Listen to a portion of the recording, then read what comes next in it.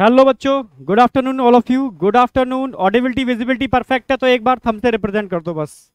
Audibility visibility perfect है तो एक बार थम से रिप्रेजेंट करो. कंटिन्यू करते हैं. Good afternoon good afternoon good afternoon बहुत बढ़िया. कई बच्चे परेशान थे कि सर, क्या आप कंप्लीट रिविजन कराओगे? ठीक है? तो ऑलरेडी मैं पहले ही बोल रहा हूँ बेटा कंप्लीट रिविजन होगा आपका. टेंशन लेने की ज़रूरत नहीं है. हाँ अब साउंड ठीक, एक मिनट एक मिनट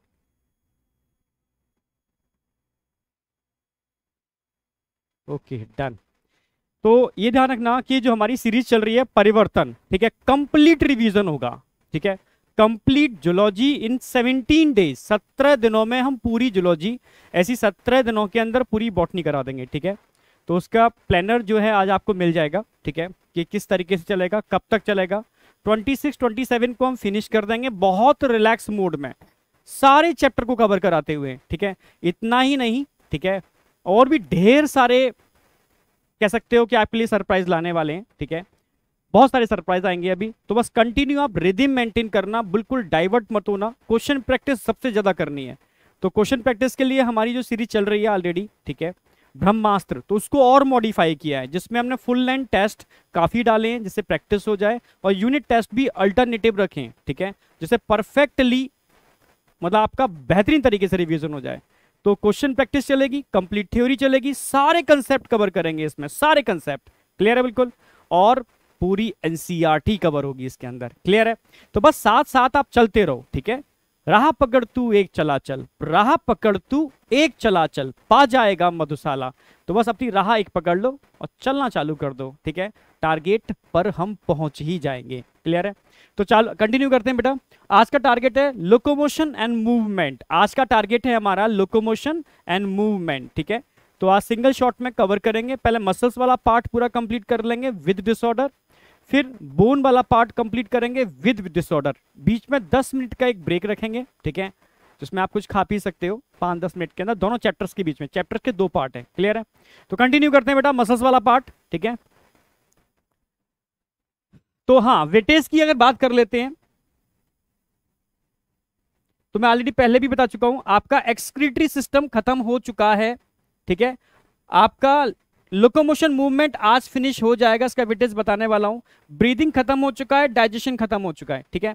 तो आप आज के बाद कितने चैप्टर बच रहे हैं फिजियोलॉजी में? वन टू और थ्री ठीक है? फिजियोलॉजी के तीन चैप्टर खत्म कराते ही सबसे पहले उठाऊँगा मैं एनिमल किंगडम जो आपकी डिमांड है। सबसे ज़्यादा ठीक है? और एनिमल किंगडम के जस्ट बाद में इवोल्यूशन और बायोटेक लेने वाला हूँ ठीक है? मेन टॉपिक पहले उठाऊँगा जिसकी आपकी सबसे ज़्यादा डिमांड है ठीक है? और फिर आगे जाकर के रिमेनिंग जो ट्वेल्थ के चैप्टर बचे हुए हैं और स्ट्रक्चरल uh, ऑर्गेनाइजेशन जो आपका रह गया है इलेवेंथ वाला पार्ट वो मैं लास्ट में कराऊँगा एनिमल हस्बेंड्री से पहले ठीक है? स्ट्रक्चरल ऑर्गेनाइजेशन इन एनिमल तो उसका पूरा planner date wise date wise zoology का और बॉटनी का आपको मिल जाएगा आज ठीक है? तो उसको अच्छे से देख लेना अपने जहाँ टेबल पढ़ते हो वहाँ लगा लेना एक एक टिक करते जाना ठीक है? और पैरेलली ऐसे ही ब्रह्मास्त्र का पूरा प्लानर देने वाले हैं आपको ठीक है? NCERT line to line question practice कराएँगे उसके अंदर line to line NCERT question practice ठीक है? उसमें फुल लेंथ भी होंगे मतलब कंप्लीट सिलेबस टेस्ट भी होंगे और यूनिट टेस्ट भी होंगे एकदम बेहतरीन क्वेश्चन होंगे बस आपका डेडिकेशन चाहिए ठीक है? और, और क्या चाहिए आपकी? प्रैक्टिस प्रैक्टिस करोगे तो बढ़िया तरीके से होता चला जाएगा हाँ। बिल्कुल बेटा, बायो के अंदर जो हम टारगेट लेके चल रहे हैं आपका 360 आउट ऑफ़ 360 ठीक है? टारगेट वही है, अब आप अगर यहाँ हो तो थोड़ा अप आ जाओगे, ये पक्की बात है। आपकी तैयारी अगर यहाँ है तो पुश करने की कोशिश करेंगे, और बेटर हो जाए। पर करना आपको ही पड़ेगा, ठीक है? हम हेल्प करेंगे, हम पूरा एफर्ट लगाएँगे, पर आप अगर एक्टिव नहीं होगे ना तो काम नहीं हो पाएगा, ठीक है? तो हमारे चैप्टर आज कवर हो रहे हैं लोकोमोशन मूवमेंट आज का हमारा टारगेट है लास्ट टू ईयर में देख लो। भाई 2022 और 2021 में तीन तीन क्वेश्चन आए हैं। उससे पहले एक क्वेश्चन भी आया है, दो क्वेश्चन भी आए हैं। पर तीन क्वेश्चन लगातार आ रहे हैं मतलब एक से लेकर के तीन क्वेश्चन का वेटेज तो इसका भी है। कम वेटेज नहीं है, ठीक है? तो कोशिश करूँगा कि आज इतना कंटेंट करा दूँ और याद करा दूँ यहीं पर, ठीक है? बोन तो मैं यही याद कराऊँगा, ठीक है? इतना याद करा दूँ कि बस, इसके बाद ज़रूरत नहीं पड़ेगी आपको, ओके? अच्छा बायोमोलिक्यूल्स हाँ बायोमोलिक्यूल का भी सिंगल शॉट मिलेगा, ठीक है? शायद बायोमोलिक्यूल तरुण सर कराएँगे, जहाँ तक बॉटनी वाले पार्ट में शिफ्ट कर दिया है उसको, ठीक है? ओके उसका भी सिंगल शॉट आ जाएगा, उसका भी प्लेनर आपको आज ही मिल जाएगा क्लियर है? चलो कंटिन्यू करते हैं। तो सबसे पहले बात करते हैं लोकोमोशन एंड मूवमेंट एनसीआरटी खोलो, पूरी एनसीआरटी लाइन टू लाइन लेके चलेंगे, पूरी एनसीआरटी लाइन टू लाइन लेके चलेंगे, ठीक है? ओके हाँ वापस आ जाओ, ठीक है? तो एनसीआरटी लाइन टू लाइन लेके चल रहे हैं। What is locomotion and what is movement ठीक है? तो सबसे पहले मूवमेंट मूवमेंट जैसे मैं this is a movement this is a movement भाई, एक ही जगह हूँ मैं, ठीक है?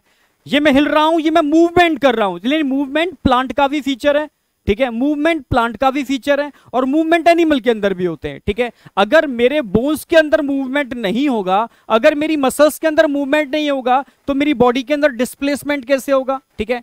यानी मेरे बोन्स और मसल्स मेरे मसल्स में कॉन्ट्रैक्शन होता है मूवमेंट होता है, तब मेरी बोन के अंदर मूवमेंट होता है, जिससे बॉडी के अंदर डिस्प्लेसमेंट होता है और डिस्प्लेसमेंट को ही हम लोको मोशन बोलते हैं। भाई, एक जगह से दूसरी जगह भाई एक जगह से आप दूसरी जगह आ रहे हो, ठीक है? क्या कर रहे हो? डिस्प्लेसमेंट हो रहा है। तो डिस्प्लेसमेंट का मतलब है लोकोमोशन ठीक है? इसलिए कहते हैं कि लोकोमोशन प्लांट का फीचर नहीं है, पर लोकोमोशन एनिमल का फीचर होता है। क्लियर बिल्कुल? तो मूवमेंट एंड लोकोमोशन एक मिनट एक मिनट हाँ मूवमेंट एंड लोकोमोशन की बात कर रहे हैं तो मूवमेंट जो फीचर है, वो प्लांट और एनिमल दोनों में मिलता है पर डिस्प्लेसमेंट एक जगह से दूसरी जगह ट्रांसफ़र कर देना displacement it is a locomotion जो एनिमल का फीचर है, समझ रहे हो ना मेरी बात? प्लांट का फीचर नहीं है। तो एक बात समझ में आ गई, ठीक है? तो इसके बारे में हम डिस्कस करने वाले हैं टाइप्स ऑफ़ मूवमेंट की बात करते हैं तो अमीवर्डल मूवमेंट पढ़ेंगे सिलियरली मूवमेंट पढ़ेंगे और मस्कुलर मूवमेंट पढ़ेंगे। अमीवर्डल मूवमेंट का मतलब समझते हो? भाई अमीवा के अंदर स्यूडोपोडिया होते हैं। उसमें मूवमेंट हो रहा है ना अमीवा के स्यूडोपोडिया में, जिसकी वजह से क्या होता है? अमीवा लोकोमोशन कर पाता है। तो मूवमेंट किसमें हो रहा है? आप बोलोगे स्यूडोपोडिया बन रहे हैं, जिसकी वजह से बॉडी में क्या होता है? डिस्प्लेसमेंट मतलब लोकोमोशन तो मूवमेंट एंड लोकोमोशन वाला कंसेप्ट समझ में आ गया। ऐसे ही आप सिलियरली मूवमेंट पढ़ोगे, ठीक है? सीलिया जब मूव करते हैं तो बॉडी में क्या होता है? लोकोमोशन यानी मूवमेंट ही लोकोमोशन को डिसाइड करते हैं, ठीक है? फिर हम पढ़ेंगे मस्कुलर मूवमेंट भाई, मेरे मेरे समझना लोअर लिम्स के मसल्स में मूवमेंट हो रहा है। इस वजह से मेरी बॉडी के अंदर डिस्प्लेसमेंट हो रहा है। मींस मेरे अंदर लोकोमोशन हो रहा है। आप समझ रहे हो? तो मेरे मसल्स मूव करेंगे तो मैं लोकोमोशन करूँगा। क्लियर बिल्कुल? हाँ बेटा एवोल्यूशन वन शॉट में कराऊँगा अभी। भाई प्रॉपर वे में, बस आज के बाद, आज के बाद ह्यूमन फेजियो के तीन टॉपिक बच रहे हैं। उसमें एनिमल किंगडम देन इवोल्यूशन और सीधा सीधा उसके बाद हम करा देंगे। बायोटेक्नोलॉजी तो जो, जहाँ प्रॉब्लम आती है और वेटेज भी ज़्यादा है, उसको पहले कवर कर लिया हमने। जिसमें प्रॉब्लम कम आती है और वेटेज कम है, उसको हमने बाद में ले लिया। बहुत तरीके से डिस्कस मतलब डिज़ाइन किया है इसको, ठीक है? बॉटनी में भी ऐसी बहुत तरीके से डिज़ाइन किया है, ठीक है? आप टेंशन मत लो। आपको तो सिर्फ़ मतलब बता ना राह पकड़ तू एक चला चल, बस आप चलो, ठीक है? बाद बाकी टेंशन हमारे ऊपर छोड़ दो। हम टेंशन लेंगे सारी के सारी, ठीक है? समझ रहे हो? जितेंद्र हेलो सर कैसे हो? बढ़िया हो बेटा ठीक है? एकदम बढ़िया। बस आप लोग डटे रहो लगे रहो ठीक है? और इस बार रिज़ल्ट दो यार परफेक्ट वाला ठीक है? समझ रहे हो? चलो कंटिन्यू करते हैं। आ, वापस आओ ठीक है? तो मस्कुलर मूवमेंट ये टाइप्स ऑफ़ मूवमेंट क्लियर हो गए। अब हम एक एक करके पढ़ेंगे ठीक है? सबसे पहला हमारा टारगेट है मसल्स ठीक है? तो मसल्स के अंदर अगर हम बात करते हैं तो बेसिक बेसिक फीचर की हम डिस्कस करेंगे ठीक है? तो भाई मसल्स थ्री टाइप के होते हैं स्मूथ मसल्स स्केलेटल मसल्स और कार्डियक मसल्स क्लियर बिल्कुल? जो हम टिश्यू वाले चैप्टर में, जब टिश्यू पढ़ाऊँगा मैं, ठीक है तो मस्कुलर टिश्यू में तीनों टाइप में करा दूँगा वहाँ पर. क्लियर है सिंगल शॉट में. या चैप्टर बड़ा था तो उस वाले पार्ट को मैंने वहाँ पर शिफ्ट कर दिया, ये वाला पार्ट यहाँ पर नहीं आएगा यहाँ डिटेल सारा पूरा का पूरा एनसीआरटी कवर कर देंगे. ठीक है, क्योंकि एनसीआरटी में भी वो डिफरेंस सारा सारा वहीं दे रखा है, ठीक है. रूटीन क्लास में हमने यहाँ भी करा दिया है. तो muscles is a specialized tissue of mesodermal in origin आप जानते हो, ठीक है? नंबर ऑफ़ मसल्स भाई नंबर मैं आपको कई बार करा चुका हूँ, ठीक है? अप्रोक्सीमेटली अगर हम नंबर ऑफ़ मसल्स की बात करते हैं तो मैंने बताया भी था, लगभग 639 के आसपास मसल्स होते हैं हाँ कार्डिक मसल्स ठीक है? समझ रहे हो? बॉडी फ्लूड एंड सर्कुलेशन अब होगा इसके बाद उसी का नंबर है, ठीक है? मतलब ह्यूमन फिजियो पहले कराऊँगा, बचे हुए जो टॉपिक है, इसमें nervous system endocrine body fluid and circulation होगा, ठीक है? फिर एनिमल किंगडम इवोल्यूशन मतलब पूरी प्रॉपर तरीके से मेंटेन किए, वो आप देख लेना आप, ठीक है? हाँ केमिस्ट्री में, अरे केमिस्ट्री ताबड़तोड़ होने वाली है, ठीक है? इंडिया की सबसे बेस्ट केमिस्ट्री होने वाली है, आप खुद देखोगे। मैं नहीं बोलूँगा या आप बोलोगे, यार मेरे कहने से कोई मतलब नहीं है। वो आप बोलोगे, ठीक है? मुझे आपका फीडबैक चाहिए केमिस्ट्री के लिए, कैसा फीडबैक आ रहा है, ठीक है? ठीक है, अभी कुछ बहुत बेहतरीन फैकल्टी और जुड़ रहे हैं। कुछ जुड़ गए हैं, कुछ और आ रहे हैं, ठीक है? बहुत बेहतरीन मतलब मेरे ही मित्र हैं, ठीक है? मतलब ताबड़तोड़ करेंगे। आप खुद देखोगे यार, आप कहोगे India best chemistry chemistry ultimate होगी आपकी। आपको टाइम बायो आपकी अल्टीमेट है। केमिस्ट्री आपकी अल्टीमेट हो चुकी है। और फिजिक्स तो अल्टीमेट ऑलरेडी है और और भी हम खतरनाक करने वाले हैं फिजिक्स ठीक है? मतलब आप, मैं बस इतना चाहता हूँ कि एक जरा सी भी कमी ना रह जाए आपके लिए, ठीक है? कोई कमी ना रह जाए जिससे कि नहीं, छोटा सा भी एक होल होता है, वो पूरे जहाज़ को डुबो देता है। तो बस हमारी तरफ़ से 100 परसेंट एफर्ट रहेगा कि छोटी सी भी कमी ना होने दें, ठीक है? डट के आपके संग एफर्ट लगाएँगे, डट के, ठीक है? बेस्ट से बेस्ट कंटेंट देंगे। हाँ वीटी सर तो आ चुके हैं, पर इसके अलावा कुछ और भी खतरनाक लोग आ रहे हैं, ठीक है? आपको अभी रिवेल हो जाएगा, अभी डिस्क्लोज नहीं करेंगे। बहुत बेहतरीन टीचर्स हैं, ठीक है? उनके सेशन एंड हो चुके हैं, वो अपना कोर्स कवर करा चुके हैं, अपना नोटिस पीरियड सर्व कर रहे हैं, वो कंप्लीट होते ही वो ज्वाइन कर लेंगे, ठीक है? हाँ बेटा, बिल्कुल बिल्कुल। हाँ वीटी सर यार वीटी सर की ऑर्गेनिक केमिस्ट्री नॉर्निक केमिस्ट्री वो तो खैर मैंने देखा ही था। वो आप देखो, किसी के बहकावे में मत जाना, मैं इतना कहूँगा कि कंटेंट भाई समझदार लोग वो होते हैं, जैसे मैं हूँ, ठीक है? बिलीव नहीं करूँगा साइंस पर बिलीव करता हूँ। पहले मैं कई चीज़ों को नहीं मानता था, जैसे बताया ना मैंने, जब से मैंने चीज़ें पढ़ी, समझी, ठीक है? कहते ना कि आडम्बर उसको समझा कि एक्चुअल में है क्या? जहाँ साइंस है, उस चीज़ को मैं फॉलो करता हूँ, मानता हूँ। जहाँ बकवास बातें होती हैं, उसको मैं डिस्कार्ड करता हूँ, ठीक है? किसी के कहने पर बिलीव नहीं करता, खुद अपने अपने ऊपर बिलीव करता हूँ, यार क्या सही है, क्या गलत है? डिसीज़न मुझे लेना है। भाई लाइफ मुझे जीनी है, ठीक है? मेरे ब्रदर या मेरे और या मेरे पड़ोसी को नहीं जीनी, ठीक है? तो अपनी डिसीज़न हम खुद लेंगे, ठीक है? मेरे अपने लोग, वो अपने डिसीज़न खुद लेंगे। हाँ डिसीज़न में हेल्प कर सकते हैं हम एक दूसरे की, पर फाइनल निर्णय तो हमें लेना है ना। वो आपको लेना पड़ेगा कि सही क्या है, गलत क्या है, ठीक है? कंटेंट कैसा बेटर होता है, वो आपको डिसीज़न करना है, ठीक है? वापस आते हैं। हिंदी मीडियम पे भी काम करेंगे। हिंदी मीडियम में मैं सच कह रहा हूँ, अल्टीमेट काम करने वाले हैं आगे। हिंदी मीडियम पे काम करने वाले हैं, पर वो प्योर एकदम खतरनाक वाला, जैसे मेरी ही ट्रू कॉपी हिंदी मिल जाए अगर तो मज़ा आ जाएगा ना। बस वो इसी तरीके से, ठीक है? अब सच में क्वालिटी पे कोई कंप्रोमाइज नहीं करेंगे, ये पक्की बात है। चाहे कुछ भी हो। Muscles is specialise tissue mesodermal origin होता है तो आप जानते हो। नंबर ऑफ़ मसल्स की बात करते हैं six thirty seven muscles total number of muscles की बात करते हैं sorry six thirty nine muscles होते हैं। Total number of muscles six thirty nine होते हैं, ठीक है? आप ये नीट, उसमें नीट में नहीं आएगा जीके का क्वेश्चन है तो आप चाहो तो याद रख सकते हो। Total number of muscles six thirty nine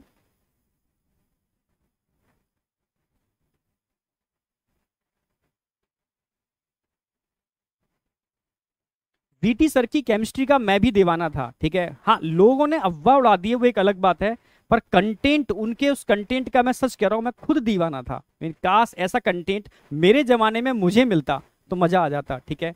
तो ठीक है, कई लोगों ने कहा कि सिलेबस कंप्लीट नहीं कराया, मैंने कमेंट्स देखे थे, ठीक है? तो भाई, वो पूरी केमिस्ट्री करा रहे थे मैंने डिस्कस भी किया, सर, आपने क्या सिलेबस छोड़ा है? तो उन्होंने बताया कि, सर, पुरानी बातें हैं ठीक है? और बेहतरीन कंटेंट है यार। उनके जो ऑर्निक स्पेशलिस्ट है, उन्होंने बताया सर, उनका कंटेंट बहुत बेहतरीन है। हाई एनर्जी लेवल है उनका। मतलब सुपर एनर्जी लेवल है। वो वही समझ पाएँगे। हाँ सिक्स थर्टी नाइन मैंने क्या लिख दिया? हाँ सिक्स थर्टी नाइन ठीक है? तो वही लोग समझ पाएँगे जो वाकई में फील करते हैं केमिस्ट्री को। ठीक है? तो केमिस्ट्री फील करो और समझो हर चीज़ को। ठीक है? बस मैं ये कहूँगा कंटेंट पर फोकस करना। फालतू बातों पर इधर उधर अफवाह पर फोकस मत करना। क्योंकि वही आपको आपके टारगेट तक पहुंचाएगा आपका टारगेट सिर्फ़ एक ही है। नीट क्रैक करना है इस साल हर हालत में, ठीक है? वो भी मुझे लग रहा है पूरी केमिस्ट्री करा देंगे। मुझे जो लग रहा है डिस्कशन हुआ था कि सर एनसीईआरटी पूरी केमिस्ट्री नहीं कराएँगे एनसीईआरटी पूरी करा देंगे केमिस्ट्री की। मतलब पूरी एनसीईआरटी पर काम कर रहे हैं वो टोटली एनसीईआरटी पर। ठीक है? सिक्स थर्टी नाइन मसल्स होते हैं, याद रख सकते हो तो अच्छा है, जिसमें से तीन सौ सत्रह, ठीक है? अप्रोक्सीमेटली अनपेयर्ड होते हैं सॉरी पेयर्ड होते हैं और लगभग सेवन के आसपास पेयर्ड होते हैं। आप समझ रहे हो ना मेरी बात? हाँ। चाहो तो लिख मतलब ये एक ऑप्शन है आपके लिए। लगभग थ्री वन सेवन के आसपास तो ये पेयर्ड होंगे। हाँ। ठीक है। बचे कितने? अप्रोक्सीमेटली सिक्स के आसपास। ठीक है। थ्री वन सेवन लगभग लगभग, इसके अलावा मान लो फाइव फाइव अनपेयर्ड होंगे। हाँ five unpaired approximately five unpaired होंगे। ये थोड़ा ध्यान रख लेना और कुछ नहीं है। ये जी के क्वेश्चन है, मैं लिखाता तो नहीं हूँ कभी कभी नॉर्मल क्लास में लिखा देता हूँ, ठीक है? पर एनसीईआरटी की ये लाइन काफ़ी इंपॉर्टेंट लाइन है कि जो मसल्स होते हैं, वो टोटल बॉडी वेट का टोटल बॉडी वेट का 42 ठीक है? 50 परसेंट होते हैं। जो मसल्स होते हैं, वो टोटल बॉडी वेट का 42 टू हाँ थ्री सेवेंटी वन 371 371 नहीं 317 होगा ना। ठीक है। सर आप डीजी सर को जानते हो। जितनों को जानते हैं कुछ आप लोग भी रेफ, रेफरेंस देना। टीचर अच्छे टीचर्स हो बस हम जो ढूंढ के ला रहे हैं ना बहुत अल्टीमेट। या कुछ भी हो जो हमारे विजन से अलाइंड होगा अल्टीमेट होगा बस वही होगा ठीक है। एक मिनट थोड़ा सा मैं सेटिंग सेट करूँ ओके नहीं आ रहा। ठीक है। ठीक है? तो दो बातें ध्यान रखनी है। टोटल नंबर ऑफ़ मसल्स हमारे कितने होते हैं? ओनली फॉर जीके मसल्स की अगर मैं बात करता हूँ तो टोटल बॉडी वेट का 40 टू 50 परसेंट मसल्स होते हैं। मसल्स की प्रॉपर्टी पर एक क्वेश्चन बनता है। हाँ 317 बेटा लिख दिया मैंने। मसल्स की प्रॉपर्टी पर एक क्वेश्चन बनता है। ये ध्यान रखना है। ठीक है? मसल्स की प्रॉपर्टी क्या क्या होती है? पहली मसल्स की प्रॉपर्टी होती है एक्साइटेबिलिटी नर्वस सिस्टम में मैंने पढ़ाया था, किसी भी सेल को अगर स्टूमुलेट करोगे, उसके मेम्ब्रेन के पोटेंशियल में चार्ज में अगर चेंज होता है, समझ रहे हो? मेम्ब्रेन के पोटेंशियल में ड्रॉपर बैच हाँ बेटा, सुन लो मेरी बात ट्वेल्थ का बैच हमने लॉन्च कर दिया है, ठीक है? ट्वेल्थ का बैच लॉन्च कर दिया है डेट अभी एक और दो दिन में फाइनल कर देंगे। ऐप हमारा तैयार हो चुका है, एक दो दिन में, ठीक है? उसको भी लॉन्च कर देंगे। ठीक है? ड्रॉपर का बैच और इलेवेंथ का बैच हम उसके बाद तुरंत ही लॉन्च करने वाले हैं। ठीक है? ड्रॉपर समझ रहे ना मेरी बात? क्योंकि छोड़ेंगे कुछ भी नहीं, ठीक है? छोड़ेंगे कुछ भी नहीं। ठीक है? लो कॉस्ट में बेहतर कंटेंट के साथ देंगे, ठीक है? और यह ध्यान रखना है कि कोई भी बुरा नहीं है, ठीक है? जितने भी हमारे अपने हैं, सब सब अच्छे हैं, कोई बुरा नहीं है। बस मैं तो इतना चाहता हूँ कि बच्चे को ऑप्शन मिले। और कोई कुछ नहीं है। ऑप्शन मिले।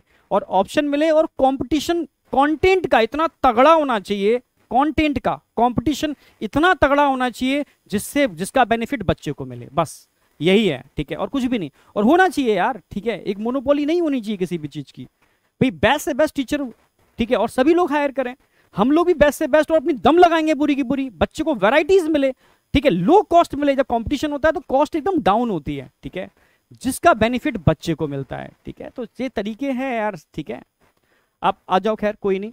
तो यहाँ तक समझ में आया कि कितना होता है, इस पर क्वेश्चन आता है। एक्साइटेबिलिटी किसी भी मेम्ब्रेन के पोटेंशियल में, किसी भी मेम्ब्रेन के पोटेंशियल में स्टिमुलेट करने पर चेंज आता है तो वो सेल नॉर्मल सेल नहीं है, वो एक्साइटेबल सेल है। कैसी सेल है वो? एक्साइटेबल सेल है। एक्साइटेबिलिटी वहाँ देखने को मिलती है। दूसरा कॉन्ट्रैक्टेबिलिटी भाई मसल्स की प्रॉपर्टी है contraction contractibility, contraction. Contractibility muscles की प्रॉपर्टी है। ऐसी मैं बात करता हूँ, एक्सटेंसेबिलिटी, एक्सटेंट मसल्स होते हैं। एक्सटेंटेबिलिटी मसल्स की प्रॉपर्टी है। इलास्टिसिटी इलास्टिसिटी समझते हो? जैसे, अरे, रबड़ बैंड, खींचो, छोड़ दो, इलास्टिसिटी, ठीक है? इलास्टिसिटी तो मसल्स की तीनों प्रॉपर्टी होती हैं, चारों प्रॉपर्टी होती हैं एक्साइटेबिलिटी कॉन्ट्रेक्टेबिलिटी एक्सटेंसिबिलिटी और इलास्टिसिटी जिनमें से एक प्रॉपर्टी मसल्स और नर्व दोनों की कॉमन है। वो कौन सी प्रॉपर्टी है? हाँ बेटा जेई पर तो खतरनाक काम चल रहा है, ठीक है? नीट और जेई हम कमज़ोर नहीं होने देंगे, दोनों परफेक्ट लेवल पर मेंटेन करेंगे, मैंने कहा ना? जैसे हम मतलब कंपटीशन आप ही सोचो, ठीक है? मेडिकल कॉलेज में अगर दस सीट हैं, आप ही बताओ। और दस ही बच्चे तैयार कर, तैयारी करते हैं। आप समझ रहे हो? या दस ही बच्चे उसको अप्लाई करने के लिए एप्लीकेबल है? या समझो दस ही बच्चे हैं, उसमें जो फॉर्म भर रहे हैं। तो बताओ क्वालिटी आ पाएगी क्वालिटी आप दिनों रात मेहनत क्यों कर रहे हो? क्योंकि सीटें लिमिटेड हैं, अट्ठारह लाख बच्चा तैयारी कर रहा है। तो क्या करना होगा आपको? कॉम्पिटिशन कॉम्पिटिशन में क्या होगा? इतनी मेहनत बच, उन बच्चों में से कई बच्चे बहुत ज़्यादा मेहनत करेंगे ज़्यादा मेहनत करेंगे तो वो निखरेंगे क्वालिटी आएगी उसके अंदर और क्वालिटी वाले बच्चों को आगे बढ़ने का मौका मिलेगा। तो यार ये चीज़ तो हर फ़ील्ड में होती है यार ठीक है। मैं कह रहा हूँ कॉम्पिटिशन करते हैं यार कंटेंट का कंपटीशन करते हैं और कंटेंट के कंपटीशन की वजह से क्वालिटी इंप्रूव होगी और ये क्वालिटी का जो बेनिफिट मिलेगा ना वो बच्चे को मिलेगा ठीक है। समझ रहे प्राइस का कंपटीशन होगा क्वालिटी का कंपटीशन होगा तो अच्छी बात है ना ये तो। जहाँ प्राइस और ठीक है कंटेंट का कंपटीशन हो, ये फेयर गेम होता है, ठीक है? एक दूसरे के टांग पकड़ के खींचना ये फेयर नहीं है। अगर वो बढ़ रहा है तो आप भी बढ़ो, उससे ज़्यादा तेज़ी से बढ़ो, ठीक है? तो बेटरनेस है। एक बच्चा दस घंटे पढ़ रहा है, आप ग्यारह घंटे पढ़ो। दस घंटे पढ़ रहा है, क्यों पढ़ा दस घंटे? उसको कुछ इतना इतना परेशान कर दो कि दो घंटे भी ना बैठ पाए कुर्सी पर, ठीक है? तो ये निगेटिव तरीका होता है, ठीक है? भाई, बराबर मेहनत करो, उससे ज़्यादा मेहनत करो, वही करना है आपको, ठीक है? एक्साइटेबिलिटी कॉन्ट्रेक्टेबिलिटी एक्सटेंसिबिलिटी इलास्टिसिटी ये चारों प्रॉपर्टी पर क्वेश्चन आता है। ध्यान रखना है आपको, ठीक है? आगे बढ़ते हैं। अब बात करते हैं स्केलेटल मसल्स तो स्केलेटल मसल्स की कॉमन प्रॉपर्टी क्या होती है स्केलेटल मसल्स की? ध्यान रखना स्केलेटल मसल्स वॉलेंट्री होते हैं इनवॉलेंट्री पहला क्वेश्चन ये अपनी इच्छा पर काम करते हैं वॉलेंट्री मसल्स हैं। इनमें लाइट एंड डार्क बैंड मिलते हैं, यानी स्ट्राइटेड मसल्स हैं, ठीक है? ट्रांसफर्स बैंड मिलते हैं, इनको स्ट्राइप्ड मसल्स भी बोलते हैं। ये दो तीन टर्म याद रखने हैं आपको इसके अंदर, ठीक है? अगर मैं स्केलेटल मसल्स की बात करता हूँ बेटा, ठीक है? इनको हम स्ट्राइटेड मसल्स बोलते हैं। स्ट्राइटेड बोलते हैं, इनको स्ट्राइप्ड मसल्स भी बोलते हैं। ठीक है? इनको हम वॉलेंट्री मसल्स भी बोलते हैं। कई नाम है इनके, ठीक है? वॉलेंट्री मसल्स भी बोलते हैं। अगर हम इनको स्ट्राइटेड की बात करते हैं स्ट्राइटेड का मतलब क्या होता है? जिनमें light and dark band present होते हैं। लाइट एंड डार्क जहाँ पर लाइट एंड डार्क बेंट होते हैं, इसलिए इनको स्ट्राइटेड मसल्स बोलते हैं। स्ट्राइप्ड क्यों बोलते हैं इनको? ट्रांसफर्स बेंट होते हैं इसके अंदर।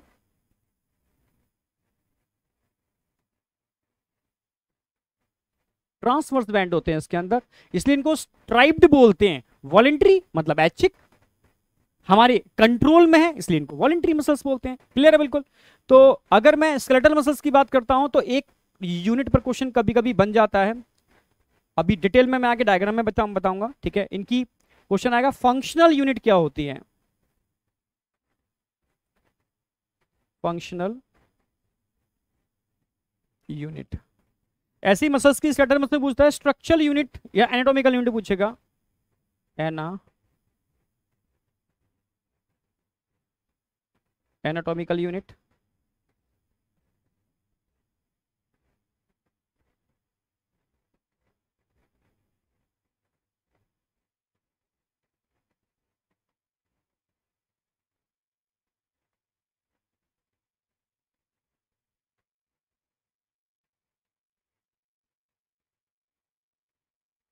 functional unit जब भी पूछेगा तो आपको याद रखना है सार्कोमियर कॉन्ट्रेक्टाइल यूनिट भी पूछता है, इसको कॉन्ट्रेक्टाइल यूनिट भी बोलते हैं।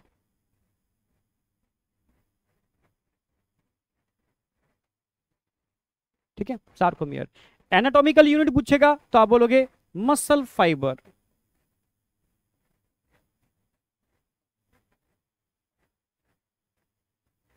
क्यों बोलते हैं मसल फाइबर क्यों बोलते हैं? सार्कोमेरिया में डिटेल में बताने वाला हूँ, ठीक है? तो आगे बढ़ते हैं। अरे, एक मिनट।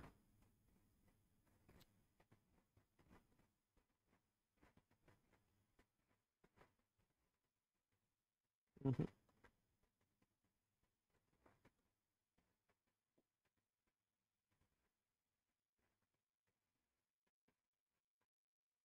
हम्म अब सही है। अब देखो।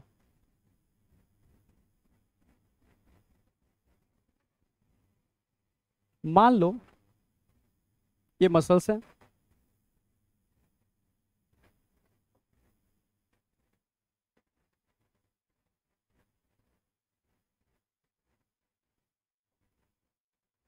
तो मसल्स की अपनी खुद की भी एक कवरिंग होती है कवरिंग ऑफ़ मसल्स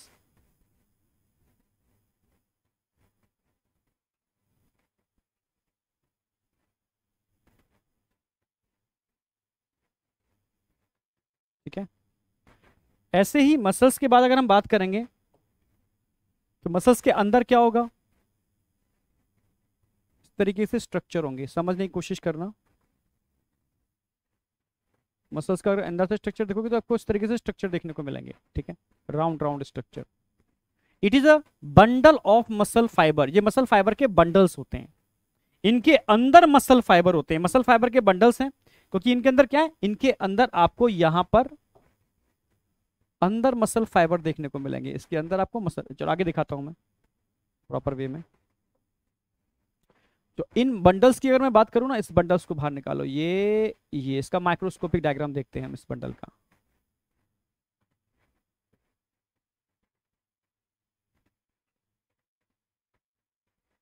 हम्म, समझने की कोशिश करना। सबसे पहले हमने बात की मसल्स की, ठीक है? स्केलेटल मसल्स की, ठीक है? जिसमें आपको बंडल ऑफ़ मसल्स देखने को मिल रहे हैं, ठीक है? जहाँ पर आपको बंडल ऑफ़ मसल्स देखने को मिल रहे बंडल ऑफ़ मसल फाइबर ठीक है? ये मसल्स है।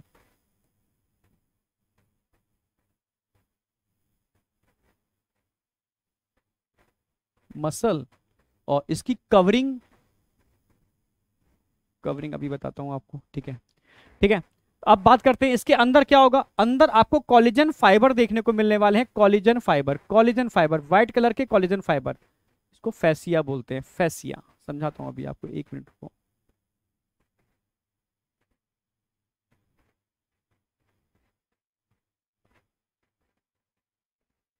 ठीक है, जिसके अंदर आपको ब्लड वेसल्स देखने को मिल जाएँगे। यहाँ आपको ब्लड वेसल्स भी देखने को मिल जाएँगे इसके अंदर। ठीक है इनसे मसल, इसमें अगेन इसमें क्या होते हैं? बंडल्स होते हैं। एक बंडल को बाहर निकाल के देखो। इस बंडल के अंदर आपको कुछ और देखने को मिलेगा। वो क्या होगा?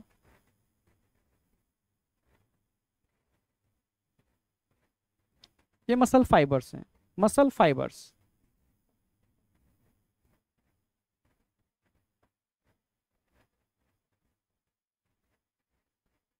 समझने की कोशिश करना। अगर मैं एक मसल फाइबर को बाहर निकाल के दिखाऊँ, सिंगल मसल फाइबर, ये ये। Single muscle fibre. तो एक मसल फाइबर के अंदर ध्यान से देखोगे ना तो अंदर एक लेयर देखने को मिलेगी। इसको बोलते हैं सार्को सार्कोलेमा। सार्कोलेमा। और सार्कोलेमा के अंदर एक लिक्विड होगा। क्या बोलेंगे इसको? सार्को प्लाज्म सार्को प्लाज्म और ये मल्टी न्यूक्लिएटेड होते हैं। मैंने रूटीन क्लास में बताया भी है ये वाली बात कि ये मल्टी न्यूक्लिएटेड होते हैं या न्यूक्लियस पेरीफ्री पर लगे होते हैं। मल्टी न्यूक्लिएटेड कंडीशन देखने को मिलेगी यहाँ पर। और इसके अंदर फ्लोट करते हैं छोटे छोटे फाइबर छोटे छोटे फाइबर इनको बोलते हैं मायोफाइब्रिल क्या बोलते हैं इनको? मायोफाइब्रिल ठीक है? और इन मायोफाइब्रिल के अंदर, अगर ध्यान से देखोगे तो ये ये ये फिलामेंट्स होते हैं, ये फिलामेंट्स होते हैं इसके अंदर। यानी मायोफाइब्रिल के अंदर भी आपको फिलामेंट देखने को मिलेंगे जो एक्टिन और मायोसिन होते हैं, जो एक्टिन और मायोसिन होते हैं। मेरी बात समझने की कोशिश करना। सबसे पहले मैंने मसल्स को दिखाया है, ठीक है? सबसे पहले मसल्स को दिखाया है। मसल्स के अंदर बंडल्स ऑफ़ मसल फाइबर थे, बंडल ऑफ़ मसल फाइबर, ठीक है? इन बंडल की अगर बात करते हैं तो इनको फैसिकल बोलते हैं, ठीक है? फैसिकल्स तो मैं लिख देता हूँ, ठीक है?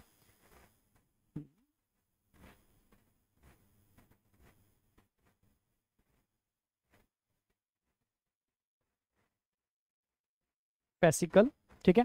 और इन फेसिकल के अलावा बात करते हैं तो पिंक कलर के फेसिकल किससे मिलके बने? इन पिंक कलर के फाइबर से। इनको बोलते हैं मसल फाइबर मसल फाइबर ठीक है? और मसल फाइबर के अंदर जो देखने को मिल रहा है ना आपको व्हाइट कलर का, इसको बोलते हैं मायोफाइब्रिल मायो मतलब कॉन्ट्रैक्शन मायो फाइब्रिल्स ठीक है? तो तीन चीज़ें बताई मैंने आपको कि ये मसल्स इसकी भी एक कवरिंग होती है। मसल्स की अपनी खुद की कवरिंग होती है। इस कवरिंग को बोलते हैं कवरिंग ऑफ़ मसल्स को क्या बोलते हैं? कवरिंग को क्या बोलेंगे? मसल्स कवरिंग एपीमाइसियम एपी बाहर की लेयर एपीमाइसियम एपी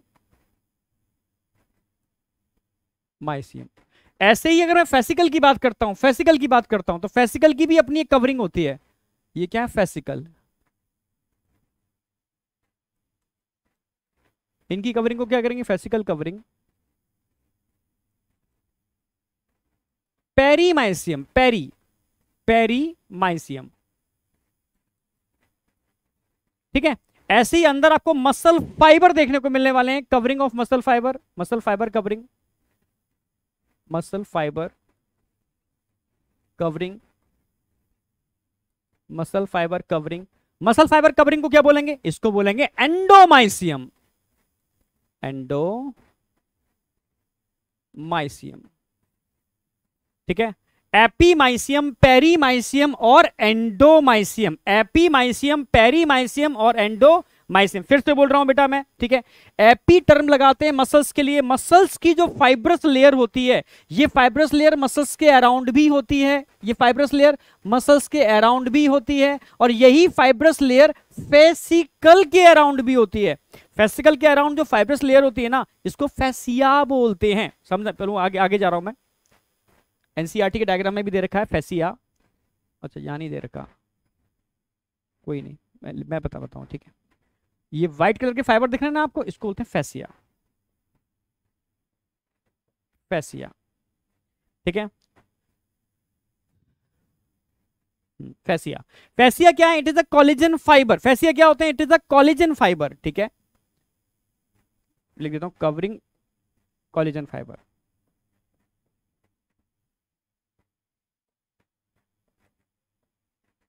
ये कॉलेजन फाइबर्स होते हैं, जिनके अंदर आपको ब्लड वेसल्स भी देखने को मिल जाते हैं। ब्लड वेसल्स तो फैसिया जो कॉलेजन फाइबर्स हैं, वो किसके अराउंड होते हैं? फेसिकल के अराउंड होते हैं, ठीक है? तो फेसिकल की जो कवरिंग होती है फाइबरस लेयर होती है, उसको बोलते हैं पेरीमाइसियम और मसल फाइबर की कवरिंग होती है एंडोमाइसियम एक एक चीज़ क्लियर कट हो रही होगी, किसको निकालते जा रहे हैं, किसको नहीं निकालते जा रहे हैं, ठीक है? इस अच्छा फेसिकल को एनसीआरटी ने एक टर्म दे रखा है bundle of muscle fibre fascicle बोलो या बंडल ऑफ़ मसल फाइबर बोलो, एक ही बात है। फेसिकल या bundle of muscle fibre bundle of muscle fibre ठीक है? जबकि मसल फाइबर की अगर मैं बात करता हूँ मसल फाइबर मसल फाइबर ठीक है? समझ रहे हो? Bundle of muscle fibre fascicle हो गया। और अगर मैं मसल्स की बात करता हूँ muscles is a bundle of fascicle ठीक है? मसल्स क्या है? बंडल ऑफ़ फेसिकल्स और fascia it is a collagen fibre which present around present around fascicles जो फेसिकल्स के अराउंड कॉलेजन फाइबर नज़र आ रहे हैं, इसको फैसिया बोलते हैं कंफ्यूज मत होना, ठीक है? और एक मस, एक बंडल को बाहर निकाल लो, एक फेसिकल को बाहर निकाल लो तो उसके अराउंड समझना मेरी बात, उसके अराउंड जो लेयर्स होगी, उसको पेरीमाइसियम बोलेंगे, ठीक है? और इसको हम बंडल ऑफ़ मसल फाइबर भी बोल सकते हैं, क्योंकि मसल फाइबर के बंडल्स हैं। Fascicles is a bundle of muscle fibre आप समझ रहे हो? और एक मसल फाइबर को बाहर निकालोगे, ठीक है? इसको हम बोलते हैं muscle fibre is a unit of या कह सकते हो structural unit of muscles structural unit of muscles बोल सकते हो उसको structural structural unit of muscles ये कहाँ दे रखा है? ये एनसीईआरटी e के समरी जो दे रखी ना समरी समरी वाले पार्ट में दे रखा है इस यूनिट के बारे में, ठीक है? तो समरी बच्चे पढ़ते नहीं है तो पहले बोल देता हूँ समरी भी पढ़नी है आपको। वहाँ दे रखा है इसके बारे में, ठीक है? तो फेसिकल क्लियर है मसल फाइबर क्लियर है फेसिया क्लियर है फेसिया क्लियर है, ठीक है? टोटल मसल्स की कवरिंग एपीमाइसियम फेसिकल की कवरिंग पेरीमाइसियम मसल फाइबर की कवरिंग एंडोमाइसियम तीनों लेयर क्लियर है। अब इसके अंदर देखो मसल फाइबर के अंदर मसल फाइबर या मसल सेल भी बोल सकते हो उसको मसल फाइबर या मसल सेल भी बोल सकते हो। मसल सेल एक ही बात है? क्योंकि ये एक सेल है मल्टी न्यूक्लिएटेड मसल सेल्स कैसी होती है? मल्टी न्यूक्लिएटेड होती है। ये लिख देते हैं इस वाली बात को। मल्टी न्यूक्लिएटेड होती है। मल्टी न्यूक्लिएटेड तो मसल सेल्स जो होती है मसल फाइबर होते हैं मल्टी न्यूक्लिएटेड होते हैं। It is a structural unit या एनाटॉमिकल यूनिट ऑफ़ मसल्स भी बोलते हैं, ठीक है? इसके अं ठीक है? ऐसे और ऐसे दिखा दो। इसको क्या बोलते हैं? मायोफाइब्रिल। मायो फाइब्रिल्स ये मायोफाइब्रिल्स हो गए, ठीक है? ये मायोफाइब्रिल्स हो गए। ठीक है? जो फ्लोट कर रहे हैं, किसके अंदर फ्लोट कर रहे हैं? सार्को प्लाज्म के अंदर फ्लोट कर रहे हैं। फ्लोटिंग कहाँ हो रही है? सार्को प्लाज्म के अंदर। इसकी लेयर को क्या बोलते हैं? जो सार्कोप्लाज्म को होल्ड किए हुए सार्कोलेमा लिख देता हूँ मैं सार्कोलेमा सार्को लेमा और सार्कोप्लाज्म सार्को प्लाज्म। तो सार्कोप्लाज्म कैसा होगा यहाँ पर? ध्यान रखना है मल्टी न्यूक्लिएटेड है। लिख दिया है मैंने मसल सेल कैसे होते हैं? मल्टी न्यूक्लिएटेड अच्छा इनके अंदर क्या है? इनके अंदर अगेन ये क्या देखने को मिल रहे हैं आपको? इन मायोफाइब्रिल के अंदर क्या है? ठीक है भाई, मायो, एक सिंगल फाइबर को निकाल लिया हमने, इसको मायो फाइब्रिल बोलेंगे, ठीक है? जो किसके मिलने से बनता है? छोटे छोटे फिलामेंट के मिलने से बनता है, ठीक है? इनको एक्टिन और मायोसिन फिलामेंट बोलते हैं फिलामेंट्स कौन से फिलामेंट्स हैं? एक्टिन और मायोसिन. एक्टिन एंड मायोसिन, ठीक है? एक्टिन पतले होते हैं थिन होते हैं और मायोसिन थिक फिलामेंट होते हैं। ठीक है तो बस इतना याद रख लो सफिशियंट है, ठीक है। एक्टिन थिन फिलामेंट होते हैं तो ज़्यादा हो सकते हैं। काउंट लगभग थ्री थाउज़ेंड तक हो सकते हैं। यहाँ पर ये कम होते हैं, मायोसिन पतले होते हैं, कम होते हैं। One five double zero fifty percent होते हैं, ठीक है। तो ये पूरा स्ट्रक्चर आ गया स्केलेटल मसल्स का, ठीक है। स्केलेटल मसल्स को मैं निकाल के दिखाऊँ ना, कुछ पूछ रहे हो क्या? क्वेश्चन हाँ क्वेश्चन है बेटा। दोनों के क्वेश्चन लास्ट में मिलेंगे आप, ठीक है? वापस आ जाते हैं। ठीक है? अगर मैं मसल्स को बाहर निकाल के दिखाता हूँ तो मसल्स की जो कवरिंग होती है, ठीक है, इसको एपीमाइसियम बोलते हैं। मसल्स को खोलोगे तो मसल्स के अंदर बंडल्स देखने को मिलेंगे बंडल्स गुच्छे, जिसको फेसिकल्स बोलते हैं। और उनके अराउंड फैसिया कॉलिजन फाइबर होते हैं, जो इन फेसिकल को होल्ड करके रखते हैं मसल्स के अंदर। समझना? एक फेसिकल को बाहर निकालो। फेसिकल क्या है? Fascicle is a bundle of fascicle is a bundle of muscle fibre fascicle is a bundle of muscle fibre आप समझ रहे हो? ठीक है? मसल फाइबर के बंडल एक फेसिकल है और एक मसल फाइबर को बाहर निकालोगे ना तो मसल फाइबर क्या है? भाई muscle fibre is a muscle cell जो मल्टी न्यूक्लिएटेड होती है, जो मल्टी न्यूक्लिएटेड होती है। एक से ज़्यादा न्यूक्लियस होते हैं, इसके अंदर सिंसाइसियम बोलते हैं, ठीक है? समझ रहे हो? सेल के फ्यूज होने से प्रोटोप्लाज्म के फ्यूज होने से जो मल्टी न्यूक्लिएटेड सेल बनती है, उसको सिंसाइसियम बोलते हैं, ठीक है? तो सिंसाइसियम मल्टी मसल फाइबर होते हैं इट इज़ एनाटॉमिकल या ऐसे भी बोल सकते हो it is structural unit functional पूछेगा या कॉन्ट्रेक्टाइल पूछेगा तो सार्कोमियर होती है। समझ रहे हो ना मेरी बात? ठीक है, ऐसे ध्यान रखना है। चलो, यहाँ तक क्लियर है? ठीक है? फिलामेंट्स क्लियर है एक्टिन और मायोसिन लगभग तीन हज़ार और लगभग डेढ़ हज़ार फिलामेंट के मिलने से एक एक मायोफाइब्रिल बनता है। मायो मतलब कॉन्ट्रैक्शन मायो मतलब कॉन्ट्रैक्शन ठीक है? और ऐसे ही कई मायोफाइब्रिल के मिलने से एक मसल फाइबर बनता है। और ये मायोफाइब्रिल एक लिक्विड में होते हैं सार्को प्लाज्म बोलते हैं। और कवर्ड होता है कवरिंग होती है सार्को लेमा ठीक है? और ये मल्टी न्यूक्लिएटेड होते हैं। तो ये सारे क्वेश्चंस आपके यहाँ पर सॉल्व हो जाएँगे। यहाँ तक कोई भी डाउट शाउट है तो मुझे बताओ। कोई भी डाउट शाउट यहाँ तक। कुछ भी। कुछ ही पूछना है यहाँ तक, पूछ सकते हो। Thin filament thick filament muscle cell मैंने लिख दिया एनसीआरटी में दे रखा है मसल सेल के बारे में।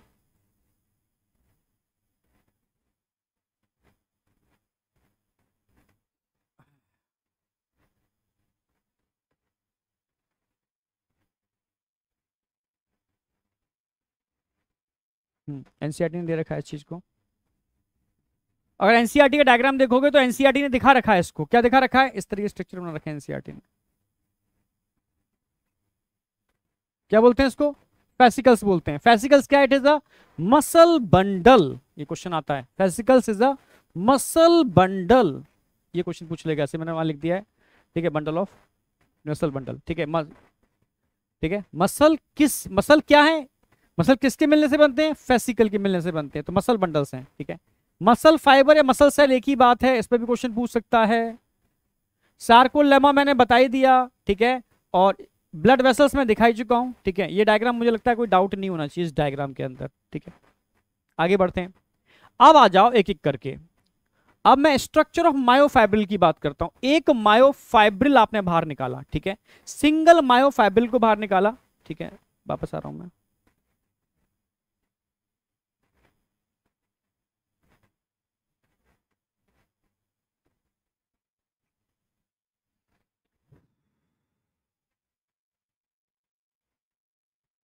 Structure of myofibril. मायो मतलब कॉन्ट्रेक्शन मायो टर्म कहीं भी आ जाए, मायो मतलब कॉन्ट्रेक्शन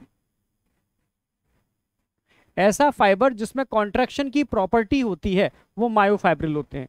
अगर मायोफाइब्रिल के आप स्ट्रक्चर की बात करोगे ना तो आपको मायोफाइब्रिल कुछ ऐसे ऐसे देखने को मिलेंगे। ऐसे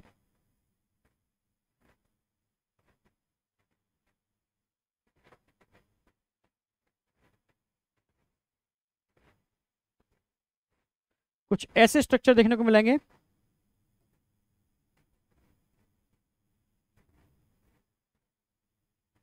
जिनमें आपको अल्टरनेटिव इस तरीके से लाइट एंड डार्क बैंड देखने को मिलते हैं। ये ऐसे।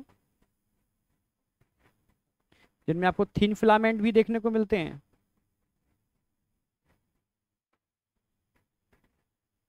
और इनमें आपको थिक फिलामेंट भी देखने को मिलते हैं। ऐसे स्ट्रक्चर आते हैं, ठीक है? ये मायोफाइब्रिल स्ट्रक्चर ऑफ़ मायोफाइब्रिल ठीक है? जिसमें येलो कलर के दिख रहे हैं ये थिन फिलामेंट है।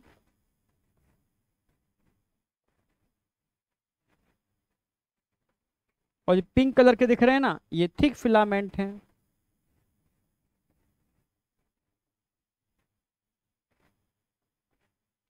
आप समझ रहे हो ना? ये लाइट एंड डार्क बैंड देखने को मिल रहे हैं, आपको light and dark band alternatively मिल रहे हैं, ठीक है? और यहाँ से यहाँ, इसको जेड लाइन बोलते हैं इसको, और इसको हम जेड लाइन टर्म यूज़ करते हैं।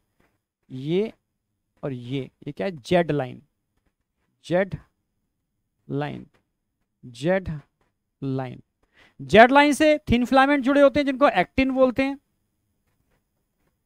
और एक्टिन फिलामेंट से जुड़े रहते हैं मायोसिन फिलामेंट। एक्टिन फिलामेंट से जुड़े होते हैं मायोसिन फिलामेंट। थिक फिलामेंट मतलब मायोसिन। मायोसिन, ठीक है? तो ये स्ट्रक्चर ऑफ़ मायोफाइब्रिल हो गया। दो जेड लाइन के बीच के पार्ट को, दो जेड लाइन के बीच के पार्ट को हम बोलते हैं फंक्शनल यूनिट यानी sarcomere sarcomere it is a functional unit क्योंकि यही कॉन्ट्रेक्टाइल यूनिट है। यही फंक्शनल यूनिट है, ठीक है? तो आप बोल सकते हो कॉन्ट्रेक्टाइल या फंक्शनल फंक्शनल यूनिट है। कॉन्ट्रेक्टाइल या फंक्शनल यूनिट है। आप समझ रहे हो ना मेरी बात? कॉन्ट्रेक्टाइल या फंक्शनल यूनिट है। कौन है कॉन्ट्रेक्टाइल फंक्शनल यूनिट आप बोलोगे सार्कोमियर कहाँ होते हैं? Present between two Z line present between two Z line आप समझ पा रहे हो मेरी बात? सर इंपॉर्टेंट टॉपिक बिल्कुल इंपॉर्टेंट टॉपिक ही करा रहा हूँ मैं। एनसीईआरटी पूरी कराऊँगा बायो में कोई ऐसा नहीं है, ठीक है? जो हमने प्लानर बनाया है, जो आपको ऑलरेडी अपलोड हो गया होगा अब तक, ठीक है? तो उसको ध्यान रखना है, वो उसको फॉलो करना है, बिल्कुल एकदम सीरियसली फॉलो करना है, ठीक है? ऑलरेडी मतलब हम ऐसे यू ही कुछ भी नहीं पढ़ा देंगे, ध्यान रखना, ठीक है? एनसीईआरटी पूरी करानी है, ये पहला हमारा टारगेट है, ठीक है? ये पहला टारगेट बस हम चाहते हैं कि बायो में मैक्सिमम मार्क्स कैसे बनेंगे, ठीक है? सेम हम केमिस्ट्री में भी पूरी एनसीईआरटी कराने वाले हैं, ठीक है? केमिस्ट्री में भी पूरी एनसीईआरटी होगी लाइन टू लाइन तीनों केमिस्ट्री के अंदर, ठीक है? फ़िज़िकल ऑर्निक नॉर्निक ठीक है नॉर्निक में एनसीईआरटी तो डिट्टो सीधी लाइन लाइन छप रही है, ठीक है। तो वहाँ पूरी एनसीईआरटी मिलने वाली है बायो में पूरी एनसीईआरटी मिलने वाली है। फिजिक्स में एनसीईआरटी और कंसेप्ट का कॉम्बिनेशन होगा कॉम्बिनेशन होगा, ठीक है। Next topic body fluid and circulation please planner आपको अपलोड हो गया है, वो प्लानर सीरियसली फॉलो होगा, ठीक है। प्लानर अपलोड कर दिया है, बहुत सीरियसली फॉलो होगा, ठीक है। वही प्लान हम लेके चलेंगे अभी, ठीक है। बहुत डिस्कशन करके मतलब पूरा तरीके से बनाया है। आपके एग्ज़ाम को देखते हुए, आपकी रिक्वायरमेंट को देखते हुए, आपके मैसेज देखते हुए जो आपने किए कि आपको अभी किसकी रिक्वायरमेंट है कहाँ दिक्कत आ रही है, बहुत तरीके से बनाए, ठीक है? समझ रहे हो ना मेरी बात? तो आप यार बस फॉलो करो और कुछ भी नहीं। न्यू बैच कब स्टार्ट होंगे? आप समझो कि रोज पर डे अनाउंसमेंट होते जाएँगे आपके, ठीक है? तो आज हमने प्लानर किसका दे दिया? परिवर्तन का दे दिया। कल प्रॉपर पूरा पूरा प्लानर मिल जाएगा कल क्या आज रात में मिल जाएगा। पूरा प्रॉपर प्लानर ब्रह्मास्त्र का, ठीक है? उसको मॉडिफाई किया है हमने बहुत अलग तरीके से, ठीक है? उसके लिए हमने एक टीम भी बना ली है, ठीक है? जो बेहतरीन क्वेश्चंस डिज़ाइन करेगी, जिसमें हम लोग भी लगेंगे और एक टाइपिंग की टीम भी डिज़ाइन कर ली है हमने, जिसको प्रॉपर टाइप करेगी। मतलब पूरा एफर्ट लगाएँगे। मतलब बच्चे को कंटेंट में नीट तक कहीं दिक्कत नहीं आनी चाहिए। ये गारंटी ली है हम लोगों ने। हम पूरा करेंगे, ठीक है? और डिस्ट्रिक्शन से बचने के लिए, ठीक है, कोशिश करेंगे कि मतलब कुछ चीज़ें ऐसी होंगी तो बस आप बस फोकस करोगे यार, बस और कुछ नहीं, ठीक है ओनली फोकस वो आपके ऊपर डिपेंड करेगा, ठीक है। हाँ ऐप भी हम लॉन्च करने वाले हैं, ठीक है, एक या दो दिन में ऐप लॉन्च कर देंगे, ठीक है तो ऐप पर चीज़ें स्मूथली चलेंगी ऑनलाइन कभी चीज़ें नहीं होती, कभी कुछ ना कुछ गड़बड़ हो ही जाती है यूट्यूब लेग आ ही जाता है कुछ ना कुछ, ठीक है ग्लिच कहते हैं ग्लिच आ जाता है कभी, कोई नहीं, ठीक है। उसके लिए ऐप हमारा तैयार लगभग हो गया है, आज मैंने डेमो देखा था उसका, ठीक है, इतना सही ठीक ठाक था, कुछ चीज़ें कमी थी हमने बता दी है। तो एक दो दिन में ऐप लॉन्च हो जाएगा ना, फिर ऐप पर सारी चीज़ें प्रॉपरली आपको मिल जाएँगी। सारा कंटेंट मिल जाएगा, सारे पी मिल जाएँगे मतलब आपको स्मूथली चीज़ें मिल जाएँगी। बस मेहनत तो देखो आपको करनी है, करवाएँगे हम, करनी तो आप ही को पड़ेगी, है ना? बैच लॉन्च हम पैरेलल करते जा रहे हैं। हमने ट्वेल्थ का बैच लॉन्च कर दिया प्रॉपर वे में विद टीचर के साथ, ठीक है? वो आपको कल या परसों हम लॉन्च कर देंगे। सारे टीचर्स इसके अंदर होंगे। मालूम पड़ जाएगा फिजिक्स कौन कौन से, ठीक है, खतरनाक धुरंधर लेके चलने वाले हैं। केमिस्ट्री के लिए कौन कौन से धुरंधर आने वाले हैं, जो आ चुके हैं, ठीक है। बायो तो हम दो ही लेके चलेंगे और तीसरा भी कोई इन्वॉल्वमेंट नहीं करेगा। मैं और तरुण सर पूरी बायो कवर करेंगे, क्योंकि जितना एफर्ट हम लगाएँगे बायो में पूरा 360 आउट ऑफ़ 360 का, ठीक है। केमिस्ट्री का प्रॉमिस करते हैं इंडिया बेस्ट केमिस्ट्री देंगे। सारे टीचर औसम है, सारे टीचर अच्छे होते हैं बेटा, ठीक है। ठीक है? पर हम 19 नहीं बैठेंगे 21 करने की कोशिश करेंगे, ये अपने दम लगाएँगे पूरी की पूरी, ठीक है? आपके संग मेहनत करेंगे पूरी की पूरी, ठीक है? कोई भी बेकार नहीं है, इसमें सब अच्छे हैं, सब बेहतरीन है, ठीक है? पर 19 नहीं होंगे, पूरी, अपना पूरा 100 परसेंट देंगे, बस यही पता है मुझे, ठीक है? स्ट्रक्चर ऑफ़ मायोफाइब्रिल, अब इतना समझ में आ गया ना? मैंने एक बेसिक मायोफाइब्रिल स्ट्रक्चर बना दिया। अब इस स्ट्रक्चर में मैं बनाऊँगा, बताऊँगा आपको, किसके बारे में? किसके बारे में? अब हम बताएँगे इसके बारे में। आप बोलोगे बैंड्स के बारे में इसमें डायरेक्ट क्वेश्चन आता है। इधर फोकस करना सारा सारा फोकस इधर करना। देखो ये अभी बताया ना जेड लाइन। ये भी क्या बताई थी मैंने? Z line. Z line. Z line. ये दो जेड लाइन हो गए ठीक है? जेड लाइन के भाई नीचे क्या दिख रहे थे आपको? जो ये वाले ये, ये क्या थे? एक्टिन फिलामेंट और जो ठीक वाले दिख रहे हैं कैसे? Myosin filament. Actin thin filament होते हैं। मायोसिन थिक फिलामेंट होते हैं। ठीक है? जेड लाइन समझ में आ गया। और दो जेड लाइन के बीच के, दो जेड लाइन के बीच के पार्ट को हम क्या बोलते हैं? यहाँ से यहाँ तक। दो जेड लाइन के बीच के पार्ट को क्या बोलते हैं? सार्कोमियर। सार्कोमियर। दो जेड लाइन के बीच के पार्ट को क्या बोलते हैं? सार्कोमियर। बताई दिया मैंने, ठीक है? अब ध्यान से समझना, ध्यान से समझना। यहाँ अगर मैं बात करूँ, ठीक है तो आपको यहाँ कुछ ऐसा ऐसा ये पार्ट दिख रहा है, जिसके अंदर, देखो मैं मैं ड्रॉइंग कर देता हूँ, यहाँ से यहाँ तक। बताओ, इसके बीच में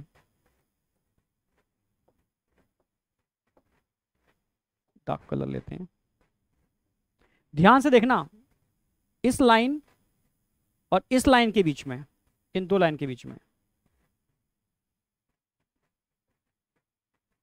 इस दो लाइन के बीच में यहाँ से यहाँ तक आपको कौन से बैंड नज़र आ रहा है? ये ये। ओनली एक्टिन फिलामेंट नज़र आएँगे आपको। एक्टिन फिलामेंट एक्टिन फिलामेंट है तो उसको हम बोलते हैं लाइट बैंड समझना। फिर मैं एक ड्रॉ कर रहा हूँ लाइन थोड़ा डार्क कलर से करते हैं, समझ में आया आपको। ध्यान से देखो, यहाँ से, यहाँ तक लाइन खींची हमने। ऐसे ही हमने इसको ड्रॉ यहाँ किया, यहाँ से, यहाँ तक। अब चीज़ समझ में आएगी कुछ कुछ आपको। ध्यान से देखो, यहाँ आपको थिन फिलामेंट नज़र आ रहे हैं। यहाँ थिन और थिक दोनों नज़र आ रहे हैं। फिर आपको यहाँ पर थिक फिलामेंट नज़र आ रहे हैं। फिर यहाँ पर थिन और थिक और थिन। यानी यहाँ पर आपको लाइट बेंड नज़र आएगा। जब देखोगे तो यहाँ डार्क बेंड नज़र आएगा, क्योंकि थिन और थिक दोनों है। यहाँ डार्क आएगा, पर इससे लाइट होगा, क्योंकि ओनली थिक है, थिन नहीं है। फिर थिन और थिक फिर ऑन थी ओनली थिन ठीक है तो यहाँ आपको कुछ बैंड नज़र आएँगे समझने की कोशिश करना कुछ बैंड नज़र आएँगे यहाँ एक बैंड नज़र आएगा यहाँ एक बैंड नज़र आएगा यहाँ एक और बैंड नज़र आएगा यहाँ एक और बैंड नज़र आएगा समझ रहे हो ना ये कुछ बैंड नज़र आ रहे हैं ठीक है ये कुछ बैंड नज़र आ रहे हैं ये कुछ बैंड नज़र आ रहे हैं ये कुछ बैंड नज़र आ रहे हैं ये कुछ बैंड नज़र आ रहे हैं समझना इसको तो बोलते हैं आई बैंड क्या बोलते हैं आई बैंड ठीक है? अब समझना, इसको भी बोलेंगे आई बैंड आई बैंड आई का मतलब होता है आइसोट्रॉपिक आई का मतलब होता है आइसोट्रॉपिक आइसोट्रॉपिक का मतलब है, अगर लाइट है तो लाइट ही है. जबकि यहाँ क्या है? ओवरलेपिंग हो रही है तो उसको ओ जोन बोल सकते हो. यहाँ भी ओवरलेपिंग हो रही है तो ओ जोन यहाँ नन ओवरलेपिंग वाला पार्ट दिख रहा है एक साइंटिस्ट थे, हैंसन, उन्होंने देखा था। तो तब से उन्हीं के नाम पर हमने इसका नाम रख दिया, Hensen zone. H zone. H zone. ठीक है? और अगर मैं बात करूँ बैंड की तो ये ओ से लेकर के इस ओ तक, जो पूरा होता है, ये होता है A band A band A band. समझने की कोशिश करना। ए का मतलब होता है एन आइसोट्रॉपिक, जो समान नहीं है। असमान है। असमान क्यों है? ध्यान से देखो यहाँ की डार्क कम डार्क ज़्यादा डार्क यहाँ से यहाँ तक पूरा डार्क है। ये पूरा डार्क बैंड है, समझना। मैं लिख देता हूँ ये वाली बात। यहाँ से यहाँ तक डार्क बैंड है। डार्क है। जबकि यहाँ से यहाँ तक ये लाइट है। लाइट है। समझ रहे हो? तो ये डार्क है लाइट डार्क लाइट पर डार्क समान नहीं है, मोर डार्क, ओवरलिपिंग जोन है। Non overlapping zone, H zone, कम डार्क, ओवरलिपिंग जोन, ज़्यादा डार्क। तो इसको बोलते हैं एनाइसोट्रॉपिक एनाइसोट्रॉपिक। एनाइसोट्रॉपिक का मतलब असमान, जिसमें टोटली डार्क नहीं है। डार्क में भी वेरिएशन आ रहे हैं। More dark, less dark, more dark. समझ रहे ना मेरी बात? तो यहाँ पर भी वेरिएशन नज़र आ रहे हैं। O H O O H O आई आई आई मतलब आइसोट्रॉपिक समान। समझ रहे ना मेरी बात? एन आइसोट्रॉपिक असमान। तो ये बैंड वाला कंसेप्ट समझ में आया है नहीं आया? अब क्वेश्चन आएगा क्वेश्चन आएगा। जेड लाइन जेड लाइन किस बैंड के बीच में देखने को मिलती है? तो आई बैंड के बीच में। Z line present Z line present between I band ये क्वेश्चन आएगा। Present between I band I band I band के अंदर जो लाइन दिखती है, वो कौन सी लाइन होती है? Z line. ये क्वेश्चन बनता है। अगला क्वेश्चन बनेगा कि सार्कोमियर इजिकल टू होता क्या है? सार्कोमियर इजिकल टू क्या होता है? हाफ़ आई बैंड प्लस पूरा A band plus half I band. समझ रहे हो ना? समझने की कोशिश कर रहे हो? एक सार्कोमियर इजिकल टू होता क्या है? एक सार्कोमियर इजिकल टू ठीक है? सिंगल सार्कोमियर में आधा आई बैंड होता है, पूरा ए बैंड होता है, फिर आधा आई बैंड होता है। समझ रहे हो? समझ रहे हो? इसको मिलकर के एक सार्कोमियर बनता है, ठीक है? तो एक सार्कोमियर कहाँ से कहाँ के बीच की पार्ट है? दो जड लाइन के बीच में। हाफ़ आई बैंड और पूरा ए बैंड ए बैंड के अंदर क्या क्या चीज़ें आती हैं? ए बैंड में ओवरलिपिंग जोन आ जाती है और एच जोन आ जाती है। क्लियर है बिल्कुल? इसको ऐसे भी लिख सकते हैं। शायद लिख दिया होगा मैंने हाँ। आई बैंड का मतलब होता है आइसोट्रॉपिक आइसोट्रॉपिक का मतलब होता है समान। लाइट है तो लाइट ही है, जिसमें एक्टिन फिलामेंट ओनली देखने को मिलते हैं।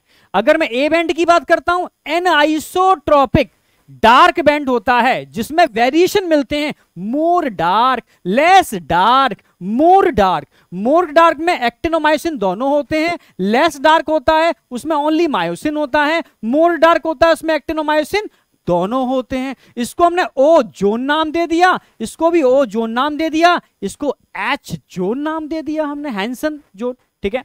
यानी ए बैंड के अंदर ओ बैंड भी होता है एच जोन भी होती है ओवरलेपिंग पार्ट भी होता है नॉन ओवरलेपिंग हैंसन जोन भी होती है, जो non overlapping part of myosin है। मायोसिन का वो भाग जो ओवरलेप नहीं करता। अच्छा कंफ्यूजन ना हो, इसलिए ध्यान रखना क्वेश्चन आता है, क्या ए बैंड एक्टिन और मायोसिन दोनों के मिलने से बनता है? नो ए बैंड का मतलब होता है लेंथ ऑफ़ मायोसिन, जो मायोसिन की लेंथ है, वो एक्चुअल में ए बैंड है।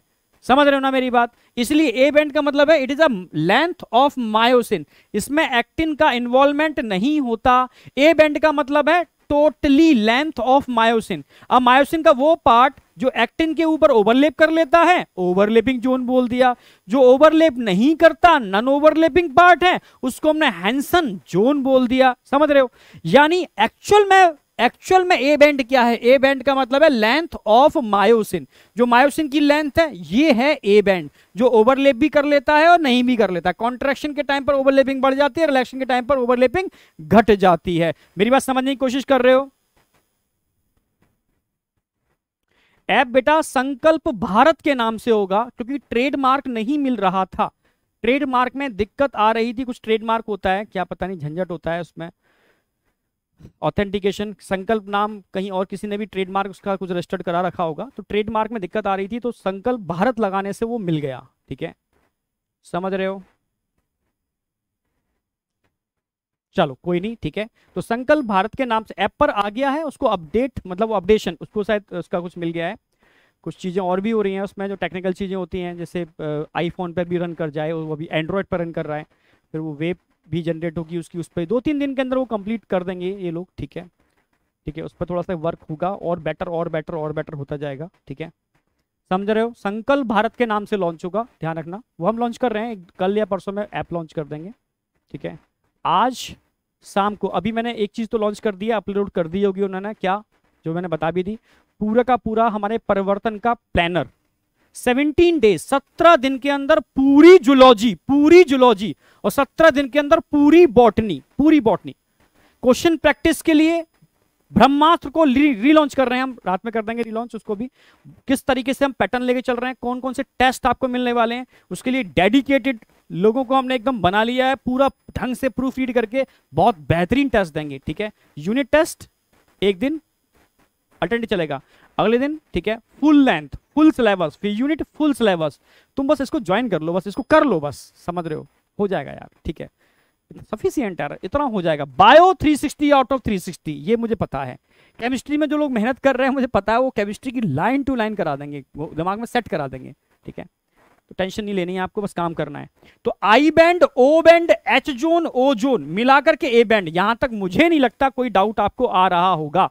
ठीक है? आइसोट्रॉपिक और एन आइसोट्रॉपिक का मतलब समझ में आ गया? ओ ओवरलेपिंग एच ठीक है? ये दोनों कहाँ आते हैं? ए बैंड में आते हैं। ए बैंड एक्चुअल में, क्योंकि इससे कंफ्यूजन होता है बच्चे को। हम ए बैंड पूछते हैं तो बच्चे को लगता है, सर एक्टिन फिलामेंट में भी तो एक्टिन फिलामेंट भी तो ए बैंड के अंदर आते हैं? तो एक्टिन फिलामेंट ए बैंड के अंदर नहीं आते, समझना। ए बैंड के ऊपर ओवरलेपिंग होती है आई बैंड की। जहाँ ओवरलेपिंग हो जाती है, उसको आई जोन बोलते हैं। तो नो कंफ्यूजन ठीक है? ए बैंड का मतलब है length of myosin A band का मतलब है लेंथ ऑफ़ मायोसिन जो मायोसिन की लेंथ है, वो ए बैंड है। जहाँ ओवरलेपिंग हो रही है ओवरलेपिंग हो रही है, वो ओवरलेपिंग जोन है। जो आई और ए की ओवरलेपिंग की वजह से होती है। मेरी बात समझ पा रहे हो ना? तो यहाँ तक मुझे नहीं लगता कोई भी डाउट आपका रहेगा क्वेश्चन छूटेगा आपसे, नहीं छूटेगा। अच्छा एक चीज़ में ऐड और कर लेना, ठीक है? अगर मैं मसल्स का थ्री स्ट्रक्चर दिखाता हूँ, एक मिनट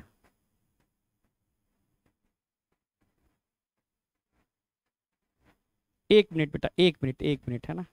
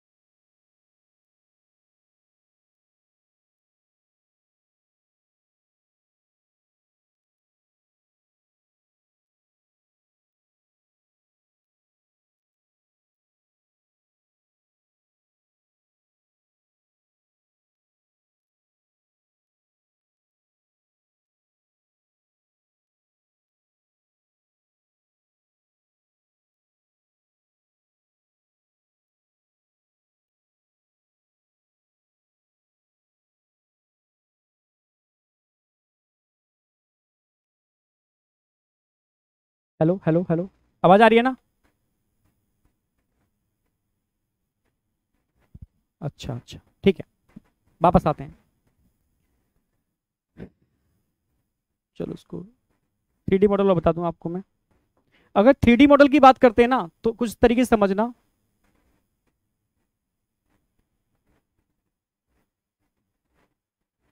जैसे मान लो बेंजिनिंग लाइक स्ट्रक्चर दिखाता मैंने लिवर के अंदर। कुछ ऐसा ही आपको मसल्स के अंदर स्ट्रक्चर देखने को मिलते हैं। समझने की कोशिश करना। सेंटर के अंदर तो पिंक कलर से दिखाता हूँ। एक मायोसिन होती है। इसके अराउंड एक्टिन फिलामेंट की सिक्स यूनिट होती हैं। समझने की कोशिश करना। यानी एक एक्टिन ऐसी और भी स्ट्रक्चर्स होंगे। थिक फिलामेंट बीच में लगे होंगे thick filament thick filament thick filament समझने की कोशिश करना। अगर मैं आपसे पूछूँ, ये दिख रहा है, ये है एक्टिन फिलामेंट एक्टिन ये है मायोसिन अगर मैं आपसे पूछूँ, बेटा एक्टिन एंड मायोसिन अगर मैं आपसे पूछूँ, बेटा, कि जो एक्टिन फिलामेंट होते हैं एक्टिन फिलामेंट होते हैं कितने मायोसिन से सराउंडेड होते हैं? तो आप बोलोगे single actin surrounded by three myosin, ठीक है? Surrounded by surrounded by three myosin three myosin unit ये क्वेश्चन एक ध्यान रखना है, ठीक है? ऐसे ही पूछेगा single myosin surrounded by surrounded by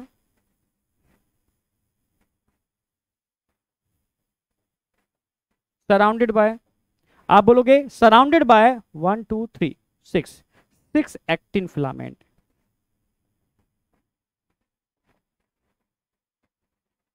बस, इतना पूछ सकता है बाई चांस अब यहाँ से क्वेश्चन बनेंगे वेरी वेरी वेरी इंपॉर्टेंट समझ रहे हो? इससे पहले मैंने सिर्फ़ इतना बताया था कि सेम केमिस्ट्री प्लेनर भी ऐसे ही आने वाला है, आज ही, आज या कल. केमिस्ट्री प्लानर अपलोड हो जाएगा आज शाम तक या कल सुबह, ठीक है? समझ रहे हो ना? सेम फिजिक्स प्लेनर भी अपलोड हो जाएगा, ठीक है? सारे प्लेनर सेम ऐसे ही अपलोड हो जाएँगे, ठीक है? तो पहले मैंने जोलॉजी का अपलोड कर दिया है, फिर बॉटनी का भी अपलोड होने वाला है, फिर केमिस्ट्री फिर फिजिक्स ठीक है? समझ रहे हो? एक myosin filament six actin filament से सराउंडेड होता है। एक myosin filament, six actin filament से सराउंडेड होता है, जिसकी वजह से कॉन्ट्रेक्शन पॉसिबल है। ऐसे ही ऐसे ही each actin filament three myosin से सराउंडेड होता है। ऐसा क्वेश्चन पूछा जा सकता है। पता होना चाहिए आपको, समझ रहे हो? आगे आ जाओ। अब बात करते हैं length of sarcomere length of sarcomere during complete contraction ये नीट में आया हुआ क्वेश्चन है। जब मसल्स कॉन्ट्रैक्ट करती है और कंप्लीट कॉन्ट्रैक्शन ऑफ़ मसल्स होता है तो सार्कोमियर की लेंथ पर क्या इफ़ेक्ट पड़ेगा? लेंथ ऑफ़ सार्कोमियर रिड्यूज होगी। सार्कोमियर की लेंथ रिड्यूज होगी। आप समझ रहे हो मेरी बात? तो लेंथ ऑफ़ सार्कोमियर रिड्यूज होगी जब मसल्स कॉन्ट्रैक्ट करेगी। समझो मेरी बात? जैसे मान लो ये और ये। ये दो जेड लाइन है। जेड लाइन है। जेड लाइन और इन जेड लाइन से कौन जुड़ा हुआ होगा? इन जेड लाइन से जुड़े हुए होंगे actin filament actin filament actin filament actin filament. और इन एक्टिन फिलामेंट से कौन जुड़ा हुआ होगा? इन एक्टिन फिलामेंट से जुड़ा हुआ होगा मायोसिन। ये जुड़ा हुआ कौन होगा? Myosin filament. ये मायोसिन फिलामेंट।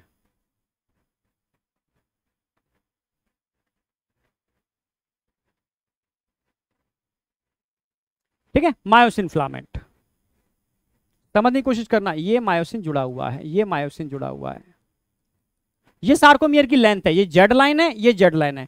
अगर मसल्स कॉन्ट्रैक्ट करेगी तो जेड लाइन पास आएँगे ना तो जेड लाइन बढ़ेंगे, घटेंगे, कम होंगे रिड्यूस होंगे। लेंथ ऑफ़ आई बैंड अब आप ही बताओ, मैं जेड लाइन को पास लेकर के आ रहा हूँ जेड लाइन को और पास लेकर के आ रहा हूँ जेड लाइन पास आई जेड लाइन और पास आई। जेड लाइन पास आई पर ये इतना ही है अभी।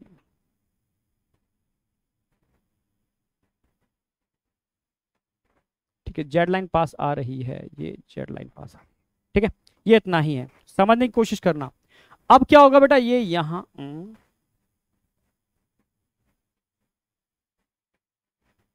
एक्टिन फिलामेंट और आगे आ गए। एक्टिन फिलामेंट और आगे आ गए। अब बताओ, क्या हो रहा है यहाँ पर? अब आप ही बता ना मैं कुछ नहीं बोल रहा। देखो, ये आई बैंड था, ऐसे ही यहाँ पर भी, यहाँ पर भी सेम ऐसे ही होगा ना? ये आई बैंड ऐसे था। आई बैंड ऐसे था, ठीक है? यानी आई बैंड पहले इतना था, सार्कोमियर, आपका पता ही इतना सार्कोमियर कम हुआ ना? जेड लाइन पास आई तो सार्कोमियर कम हुआ, ठीक है? ये तो उतना ही रहेगी ना बीच वाला, ठीक है?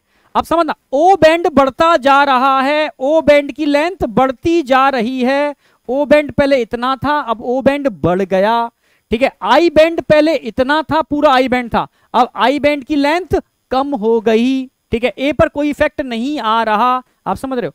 आई बैंड, आई। आई। और उसको पास लेकर के आओ कंप्लीट कॉन्ट्रेक्शन कराना ना कंप्लीट कॉन्ट्रेक्शन कराना है तो और पास लेकर के आओ उसको और पास लेकर के आओ उसको जब उसको और पास लाओगे ना, और पास लाओगे तो क्या होगा, ये सेंटर में तो मायोसिन है।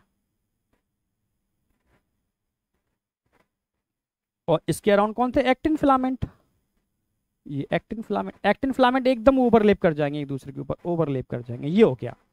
ये और पास हो गया। कंप्लीट कॉन्ट्रेक्शन हो गया। फ़र्स्ट स्टेप सेकेंड स्टेप और कंप्लीट कॉन्ट्रेक्शन थर्ड स्टेप यहाँ तक आते आते जेड लाइन बिल्कुल पास आ चुकी है। बीच में एच एच जोन दिख रही थी। एच जोन दिख रही थी। जो एच जोन कम होती जा रही है, गायब हो गई। ओवरलेपिंग वाला पार्ट बढ़ गया। यानी लेंथ ऑफ़ आई बैंड बताओ लेंथ ऑफ़ आई बैंड क्या होती जा रही है? कम नहीं होती जा रही है? ये आई बैंड इतना था, इतना हो गया, और छोटा रह गया। आई बैंड की लेंथ कम हो रही है। Length of H zone H zone reduce हो रही है रिड्यूस हो रही है। आगे जाकर के डिसअपियर हो जाएगी। आप समझ रहे हो? अभी तो रिड्यूस हो रही है, आगे जाकर के बिल्कुल कंप्लीट कॉन्ट्रेक्शन पर डिस डिसअपियर हो जाएगी। तो length of H zone decrease होगी, फिर डिसअपियर हो जाएगी गायब हो जाएगी। अब देखो यहाँ कहीं जेड एच जो नहीं दिख रही, यहाँ दिख रही है, गायब हो गई। ओवरलिपिंग होती गायब हो गई, ठीक है? एम लाइन सेंटर की लाइन सेंटर में एक मिडिल में एक लाइन होती है, इसको एम लाइन बोल सकते हो। मैं दिखा देता हूँ। सेंटर में एक लाइन होती है, इसको आप एम लाइन बोल सकते हो। ठीक है? सेंटर में एक लाइन होती है, इसको एम लाइन मिडिल लाइन एक प्रोटीन होती है, एक मिनट कौन है भाई?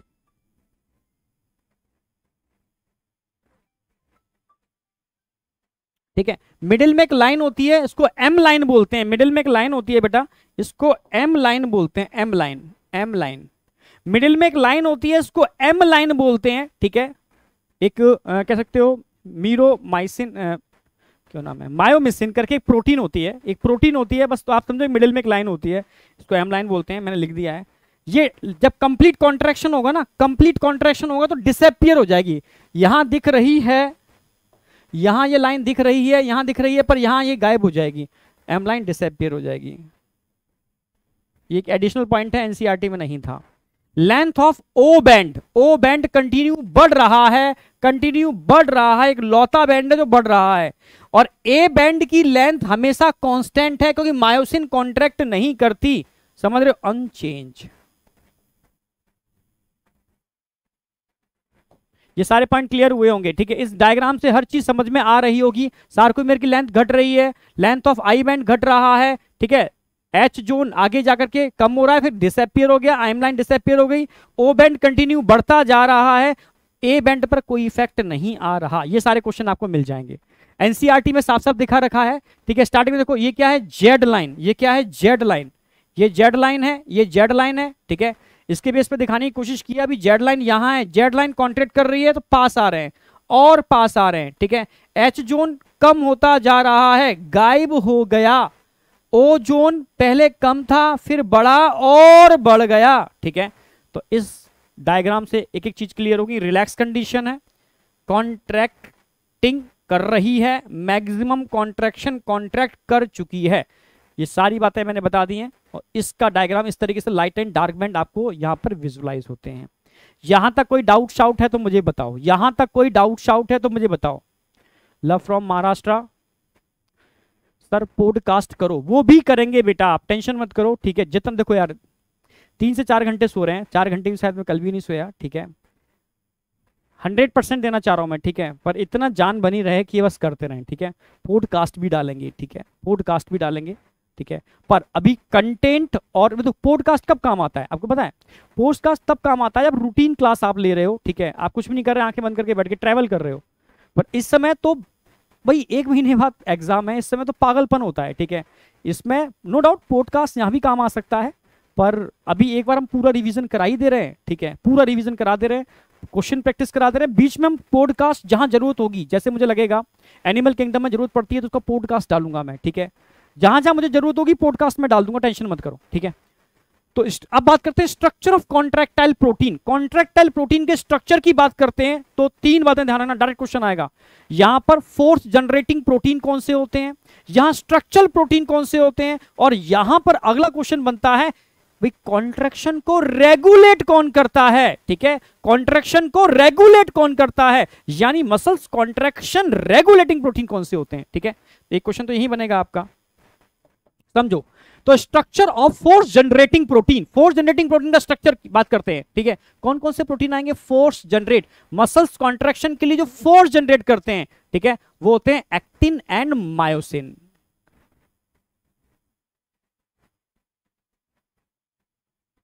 actin and myosin इनके बारे में आप पढ़ने वाले हो, ठीक है? जिसमें एक्टिन जो होते हैं, वो थिन फिलामेंट होते हैं क्वेश्चन आता है। मायोसिन थिक फिलामेंट होते हैं। अगला क्वेश्चन आएगा भाई मसल्स कॉन्ट्रेक्शन को रेगुलेट करने वाले प्रोटीन कौन से होते हैं? Number one, tropomyosin. Number two, troponin. ठीक है, और ट्रोपोमायोसिन और ट्रोपोनिन दोनों की अगर बात की जाए ना, ये दोनों ही थिन फिलामेंट का पार्ट है। क्वेश्चन आता है part of thin filament part of thin filament ध्यान से देखो, ये एक्टिन फिलामेंट है एक्टिन है एक्टिन थिन होता है थिक थिन होता है, एक्टिन थिन होता है, समझ रहे हो ना? और इसके ऊपर जो दिख रहा है रोप लाइक स्ट्रक्चर, ये ट्रोपोमायोसिन है तो थिन फिलामेंट का पार्ट है। और रेगुलर इंटरवल पर यहाँ पर आपको ट्रोपोनिन देखने को मिल रहे हैं at regular interval so it is also part of thin filament इसलिए कहते हैं tropomyosin and troponin both are part of thin filament ठीक है? अब स्ट्रक्चरल प्रोटीन में कौन आएँगे? जब भी मैं स्ट्रक्चरल प्रोटीन की बात करता हूँ, बस आपको एक नाम याद रखना है। भाई मसल्स के स्ट्रक्चर को मेंटेन कौन करता है? भाई, कहते ना, इस बिल्डिंग की या आपके घर की स्ट्रक्चरल प्रोटीन क्या है? ठीक है? स्ट्रक्चरल चीज़ें क्या है? तो आप बोलोगे उसके पिलर अगर वो आरसीसी पर खड़ा हुआ है बीम पर खड़ा हुआ है तो उसके पिलर बेटा, बस वेबसाइट भी लॉन्च करने वाले हैं। बस समझो पर डे कुछ ना कुछ लॉन्च करते जाएँगे, ठीक है? ठीक है? तो समझना मेरी बात? तो भाई इस बिल्डिंग के पिलर कौन है? आप बोलोगे स्ट्रक्चर अगर वो पिलर टूट जाएँगे तो स्ट्रक्चर गए। देखा होगा ना, कुछ लोग मैंने देखा है जब मैं जिम जाता था तो कुछ बच्चे आते थे एक्सरसाइज करने के लिए। वो ट्रेनर की बात नहीं मानते थे। तो वो कुछ भी कर रहे हैं एक्सरसाइज कुछ भी, उल्टा सीधा टेढ़ा मेढ़ा। तो उससे कहता था उनके जेड लाइन टूट जाते थे। मसल्स के जेड लाइन टूट जाएँगे तो कई टाइम बहुत समय तक, एक मिनट एक मिनट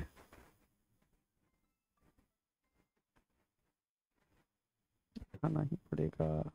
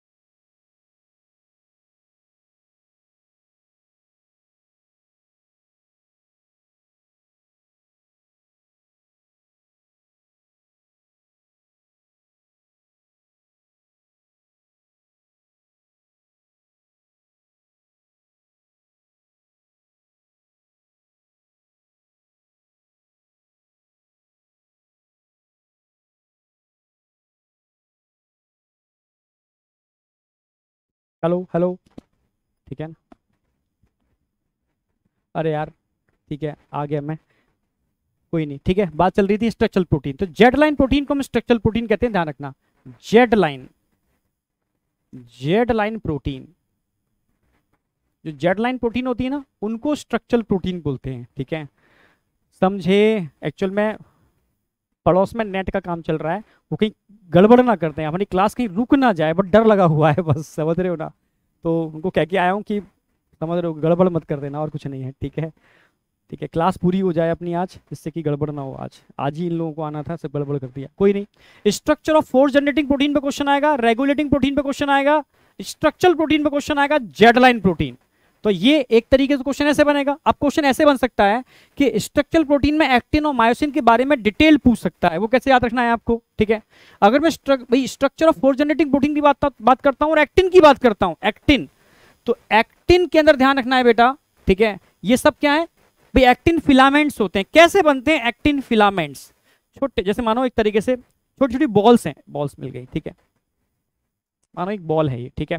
इस तरीके के बॉल के ये एक सिंगल बॉल है ना single ball is a globular actin single क्या it is a globular actin ये ग्लोब्यूलर एक्टिन है और ग्लोब्यूलर एक्टिन के पॉलीमराइजेशन से, फिर से बोल रहा हूँ ग्लोब्यूलर एक्टिन के पॉलीमराइजेशन पॉलीमराइजेशन से जो स्ट्रक्चर बनता है, उसको बोलते हैं फिलामेंटस एक्टिन ठीक है?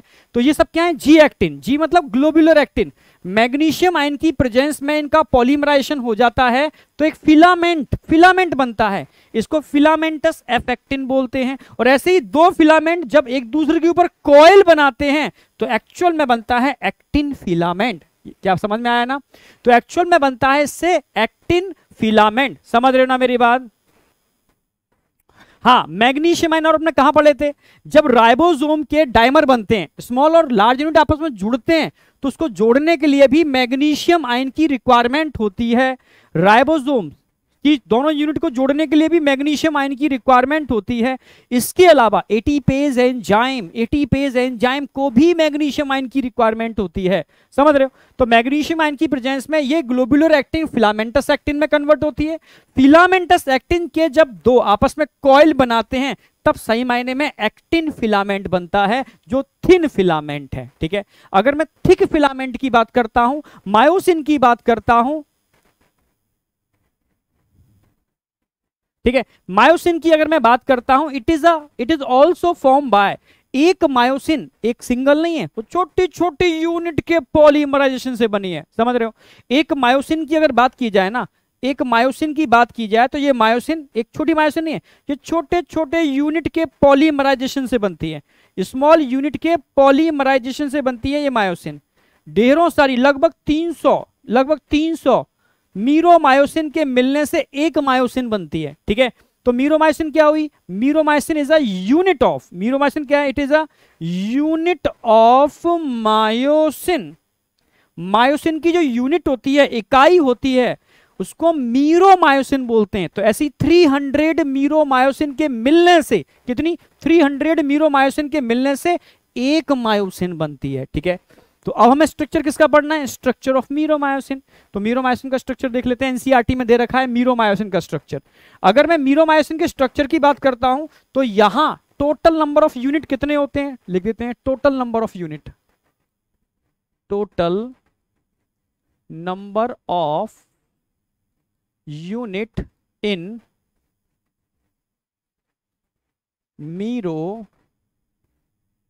meromyosin ठीक है? तो आप बोलोगे total number of unit in meromyosin six unit होते हैं मीरोमाइसिन में। टोटल कितने होते हैं? सिक्स यूनिट होते हैं। सर सिक्स कहाँ हैं? हमें तो टू ही नज़र आ रहे हैं। समझो मेरी बात। एक्चुअल में ये दो यूनिट होते हैं। ये कट लगाया यहाँ से हमने ब्लू ये कट लगाया। तो वन एंड टू टेल में कितने यूनिट है? Two one and two tail में कितने यूनिट है? टू ठीक है? अब हेड वाले रीजन में आ जाओ पूरा का प्रोबल रीजन ठीक है? इसमें यहाँ से यहाँ दो अलग यूनिट होते हैं। ग्लोब्यूलर हेड ग्लोब्यूलर हेड समझना। तो दो यूनिट तो हेड में होते हैं ग्लोबुलर हेड और छोटी सी इसकी शॉर्ट आर्म होती है. छोटी सी इसकी शॉर्ट आर्म होती है. तो शॉर्ट आर्म में भी दो यूनिट होते हैं. तो टोटल यूनिट कितना नज़र आ रहे हैं आपको? सिक्स यूनिट नज़र नहीं आ रहे. टोटल सिक्स यूनिट समझना, लिखता हूँ अभी मैं इसको.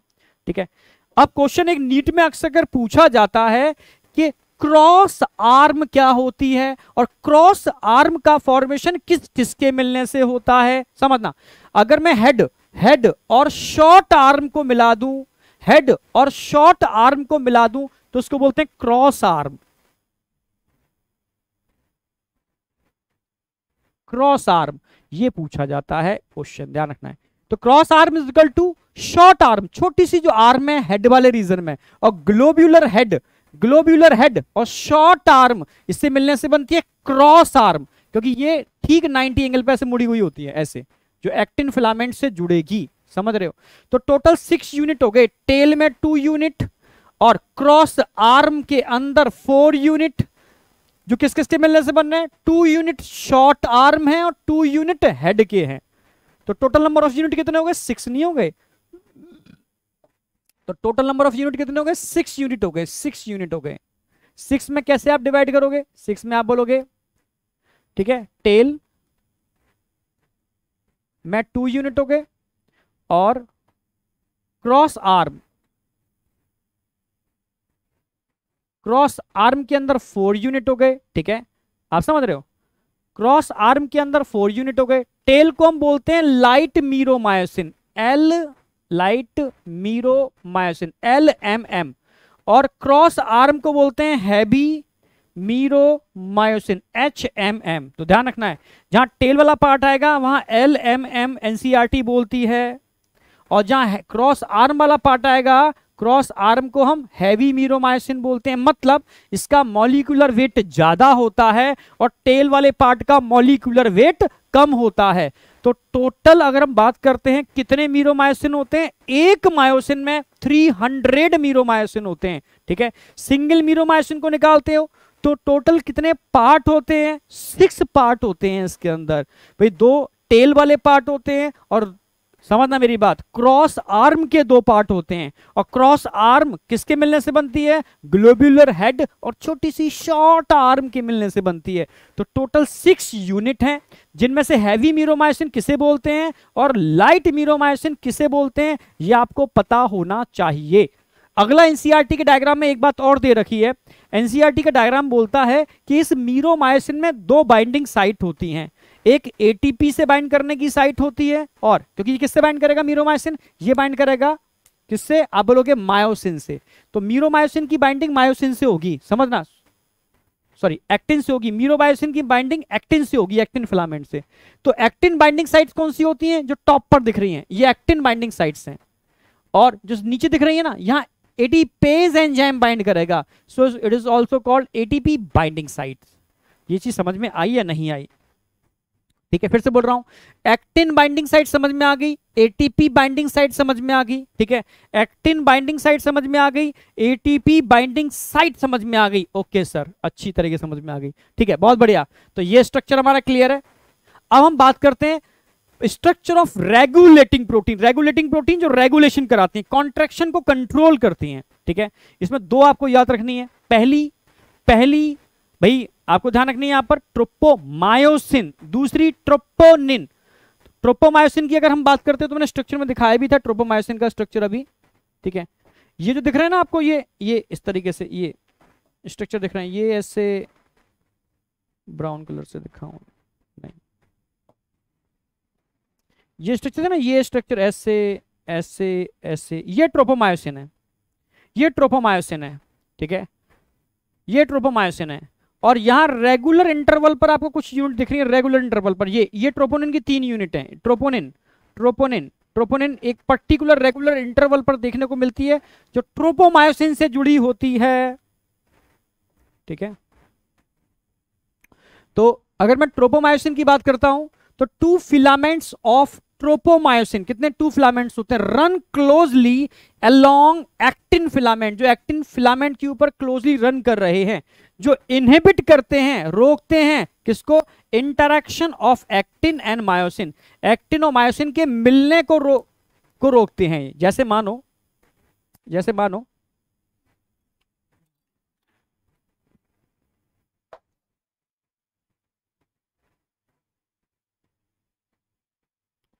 ये बेटा मायोसिन है, ये मायोसिन है, समझना। मायोसिन में हाथ बनाता हूँ, ये एक्टिन फिलामेंट बनाता हूँ, ठीक है? एक्टिन फिलामेंट के ऊपर ये इस तरीके से कौन लगा हुआ है? एक्टिन फिलामेंट पे इस तरीके से कौन लगा हुआ है? ये एक्टिन फिलामेंट पे इस तरीके से रैप्ड है। ट्रोपोमायोसिन, समझना। ये ट्रोपोमायोसिन लगा हुआ है। जब तक ट्रोपोमायोसिन एक्टिन फिलामेंट पर रैप्ड है तो नीचे मीरोमायोसिन का हेड क्या एक्टिन से टच कर पाएगा? नहीं कर पाएगा। जब तक ये जुड़ा हुआ है, इसका अटैचमेंट नहीं होगा, यानी ये ट्रोपोमायोसिन के जो दो फिलामेंट हैं, जो एक्टिन को रैप किए हुए हैं, ये एक्टिनोमायोसिन के मिलने को रोकते हैं इनहिबिट करते हैं, ठीक है? Inhibit interaction of actin and myosin ठीक है? रोकने का काम करते हैं। एक बार समझ में आ गई? चलो, आ गई। सर समझ में आ गई, ठीक है, इस तरीके से। ठीक है, अब दूसरा हम बात करते हैं troponin. It is a it is a complex protein complex क्यों बोल रहे हैं? क्योंकि एक प्रोटीन नहीं है। ये तीन प्रोटीन के मिलने से बनती है। अभी दिखाया था ना। Which present on tropomyosin NCERT में देखने से ऐसा लगता है ये एक्टिन से चिपके हुए हैं। नो ये ट्रोपोमायोसिन से ही अटैच्ड होते हैं। एट रेगुलर इंटरवल ये क्वेश्चन आता है। एट रेगुलर इंटरवल एक पर्टिकुलर रेगुलर इंटरवल के ऊपर ये अटैच्ड होते हैं। समझ रहे हो? हाँ या ना? सर्वेश सर की जी एडवांस क्लास कब होगी? बेटा आज ही होगी, ठीक है? आज ही क्लास होगी, ठीक है? मैं टाइमली खत्म कर दूँगा टेंशन मत करो, ठीक है? अगर ऐसा होगा तो मसल्स मैं अभी खत्म करा दूँगा। स्केल्टल सिस्टम वाला मैं एक घंटे का रिकॉर्डेड दूँगा आपको फिर, ठीक है? क्योंकि डर भी लगा हुआ है, कुछ गड़बड़ ना हो जाए अभी, ठीक है? समझ रहे हो? क्योंकि मामला थोड़ा सा क्रिटिकल है लाइफ के अंदर, ठीक है? तो अब टाइप्स की मैं बात करूँ, किसकी? टीपीसी के टाइप्स की टीपीसी के टाइप्स की, ठीक है? सॉरी ट्रोपोनिन के टाइप्स की तो ट्रोपोनिन कितने थे? तीन ट्रोपोनिन थे। ट्रोपोमायोसिन से लगे हुए थे एट रेगुलर इंटरवल ठीक है? तो टीपीसी टीपीटी और TPI TPC calcium binding troponin TPC calcium binding troponin समझना मेरी बात। आगे कौन से थे? TPT tropomyosin binding troponin TPI TPI I मतलब इनहिबिशन जो क्या करते हैं? इनिबिट करते हैं interaction of actin and myosin same वही, ठीक है? जो अभी बताया था मैंने, ये भी इनिबिट करते हैं। Inhibit interaction of actin and myosin पर इनके इनिबिट करने का तरीका अलग है। ये मास्किंग करते हैं। Masking very very very important क्योंकि क्वेश्चन में मास्किंग पूछेगा। Masking active site of actin actin की एक्टिव साइड की मास्किंग कौन करता है? मास्क लगा लेते हैं ना माउथ पर। कभी देखो ना मास्क वाली पार्टीज़ होती है, मैंने मूवीज़ में देखी है, ठीक है? मास्क लगा के लोग आते हैं, ठीक है? मास्क तो मास्किंग से क्या होता है? थक जाता है चेहरा, ठीक है? तो masking active site of actin ठीक है? ट्रो एक्टिन की कौन सी active site tropomyosin binding site मैं डायग्राम में दिखाता हूँ तो शायद बहुत अच्छे समझ में आएगा। मान लो, ये एक्टिन फिलामेंट है। कौन है? ये एक्टिन फिलामेंट है। ये एक्टिन फिलामेंट की एक्टिव साइड है। एक्टिन फिलामेंट की ये एक्टिव साइड है, एक्टिन फिलामेंट की ये एक्टिव साइड है। क्लियर बिल्कुल? Active site of actin filament इसके ऊपर, अब समझना, ये एक्टिन फिलामेंट हो गया, इस पर लगी हुई होगी कौन? ट्रोपो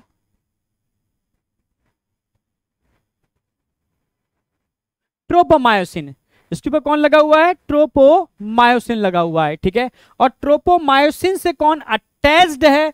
ट्रोपोमाइसिन से अटैच्ड होंगे, बेटा थ्री यूनिट्स पहली यूनिट होगी ट्रोपोमायोसिन बाइंडिंग ट्रोपोनिन टीपीटी दूसरी यूनिट होगी जो एक्टिन की एक्टिव साइट को ढक रही है मास्किंग कर रही है टीपीआई और तीसरी यूनिट होगी जो कैल्शियम से बाइंड करेगी टीपीसी ये स्ट्रक्चर आया बन करके, ठीक है? मैं लिख दे रहा हूँ उस चीज़ को।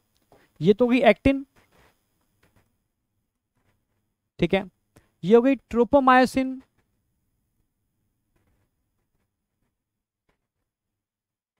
ठीक है?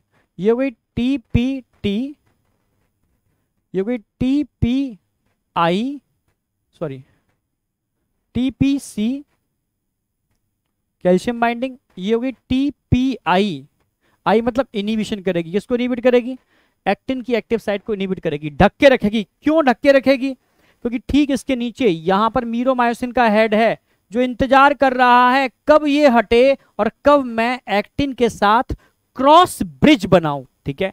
क्रॉस ब्रिज बनाने से यहाँ TPC TPC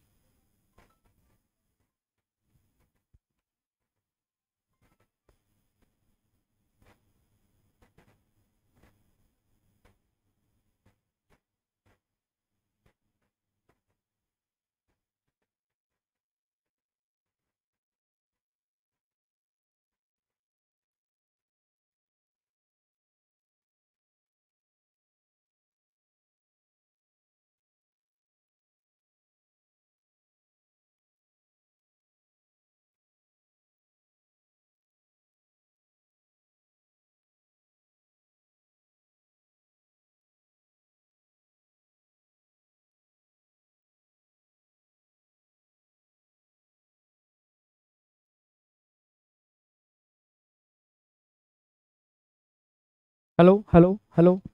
हाँ आवाज़ आ रही है ना?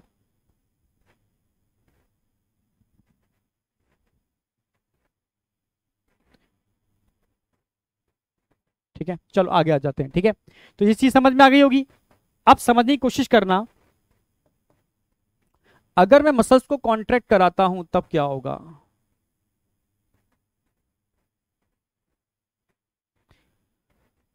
ये पोजीशन समझ में आई? मैं लिख देता हूँ, इसको क्या बोलते हैं? मायोसिन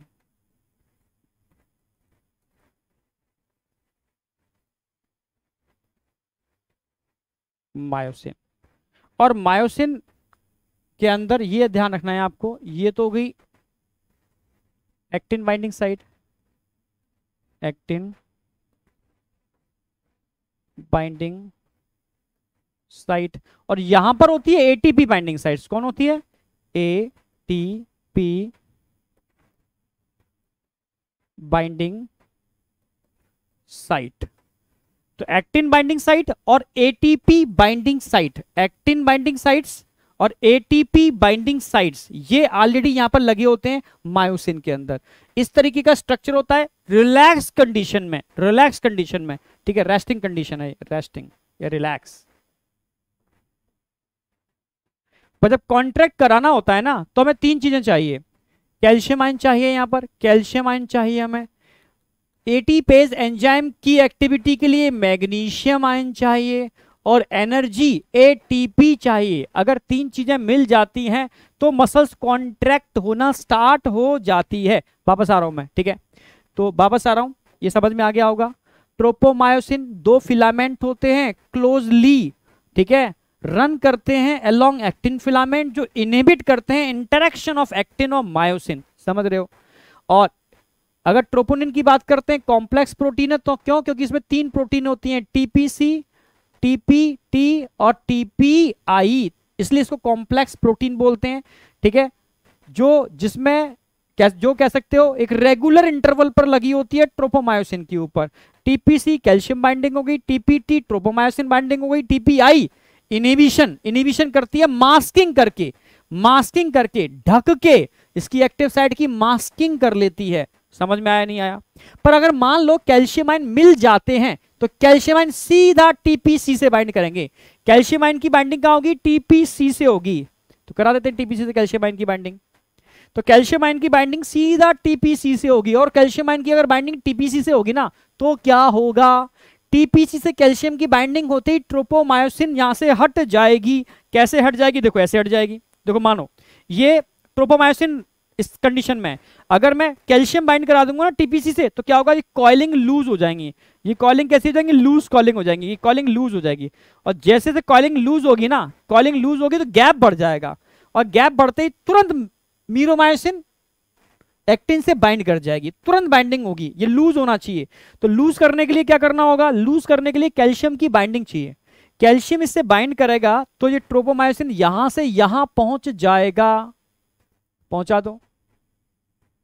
पहुँच गया। अब हम बात करते हैं इसकी। ये यहाँ पर ऑलरेडी है। ये है।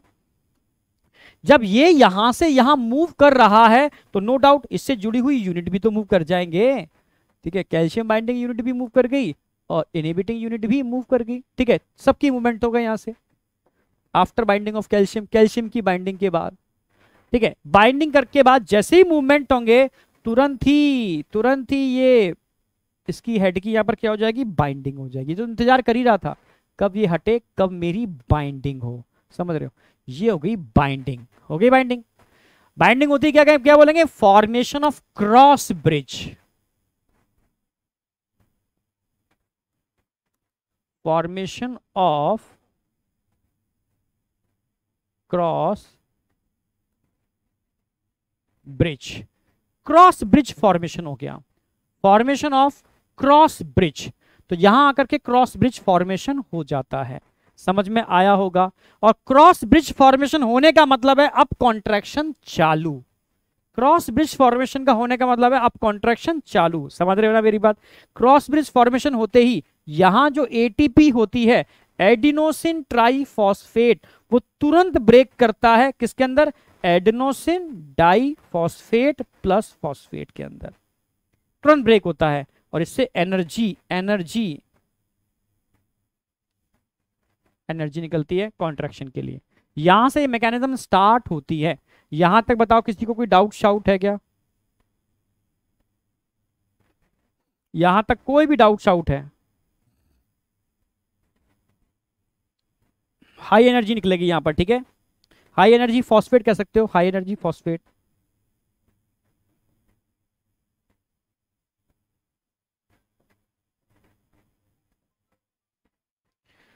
अरे भाई। हाई एनर्जी फॉस्फेट यहाँ से निकलता है। यहाँ तक कोई डाउट शाउट है किसी को? अच्छा ये किस एंजाइम की प्रेजेंस में होता है? ये तो आप जानते हो ना ATPase ATPase जो यहाँ लगा हुआ है ऑलरेडी ठीक है? तो एडीपेज एंजाइम की प्रेजेंस में एटीपी टूटेगी एडीपी एंड फॉस्फेट के अंदर और हाई एनर्जी फॉस्फेट निकल जाएगा तो मसल्स कॉन्ट्रैक्शन के लिए एनर्जी प्रोवाइड कराएगा। यहाँ तक बताओ क्रिस्टल क्लियर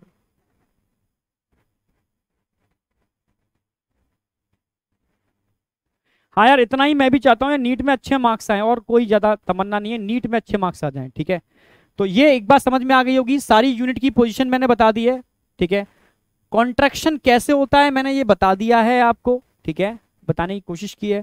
अब यहाँ पर जो हाई एनर्जी फॉस्फेट की मैंने बात की है, ठीक है? ये एक्चुअल में वो सोर्स ऑफ़ एनर्जी है जो कॉन्ट्रैक्शन कराता है, समझो मेरी बात। अब ये हाई एनर्जी फॉस्फेट आएगा कहाँ से? इस हाई एनर्जी फॉस्फेट कौन प्रोवाइड कराएगा बॉडी के अंदर? भाई मसल्स के अंदर ऑलरेडी एक कंपोनेंट होता है, ठीक है? फॉस्फोक्रेटिन ठीक है? देखा होगा, जब भी आप मसल्स कॉन्ट्रैक्ट करते हो, ठीक है? अब धीमे धीमे करोगे, कोई दिक्कत नहीं। पर अगर आपने जिम में गए हो, बहुत ज़्यादा एक्सरसाइज कर ली हो, ठीक है? तो जो फॉस्फोक्रिटिन जो होता है ना, वो ख़त्म हो जाता है। और एनारोबिक रेस्पिरेशन होना चालू हो जाता है मसल्स के अंदर, ठीक है? एरोबिक रेस्पिरेशन नहीं होता एकदम, ठीक है? जिसकी वजह से लैक्टिक एसिड का फॉर्मेशन हो जाता है, फिर हाथ हालत ख़राब हो जाती है। कभी आपने एक दिन में बहुत ज़्यादा एक्सरसाइज कर ली हो, किसी कोई त्यौहार का दिन हो, कुछ हो, ठीक है? या आपने कभी जिम गए हो, वहाँ अचानक से पहले दिन बहुत तगड़ी वाली एक्सरसाइज कर ली हो, फिर हालत कुत्तों जैसी हो जाती है। मतलब आप समझ रहे हो? हाथ कोई आपको टच भी कर देंगे ना, लगेगा गए काम से, दम कभी हुआ ऐसा? ऐसा कभी हुआ है कि आपने खूब एक्सरसाइज की हो? उसका कोई टच भी कर देना आपको तो दम निकल जाएगी आपकी, ठीक है? क्यों? क्योंकि मसल्स में लैक्टिक एसिड का फॉर्मेशन हो जाता है, जो एकदम नहीं निकलता और हालत खराब हो जाती है। मैग्नीशियम आयन का रोल मैग्नीशियम आयन का रोल बताया था ना मैंने? मैग्नीशियम आयन बेटा, ये एटीपेज एंजाइम की activity for activity of ATPase enzyme activity of ATPase ATPase enzyme भाई, ये तो आपने बॉटनी में भी पढ़ा होगा सेलुलर रेस्पायरेशन में सेल्यूलर रेस्पायरेशन में। एडीपेज मैग्नीशियम डिपेंडेंट है फॉस्फोराइलेशन मैग्नीशियम डिपेंडेंट है। जितने भी काइनेज होते हैं मैग्नीशियम डिपेंडेंट हैं। समझ रहे उनको मैग्नीशियम आना चाहिए, बिना मैग्नीशियम के काम नहीं बनेगा, ठीक है? तो अब यहाँ पर क्या हुआ? इस एटीपी के टूटने से हाई एनर्जी फॉस्फेट रिलीज़ हुआ, जो मसल्स कॉन्ट्रैक्शन के लिए एनर्जी प्रोवाइड कराता है। अब हाई एनर्जी फॉस्फेट का सोर्स क्या है? ये समझना बहुत ज़रूरी है, ठीक है? Source of high energy phosphate यहाँ तक कोई डाउट शाउट है तो मुझे बताओ।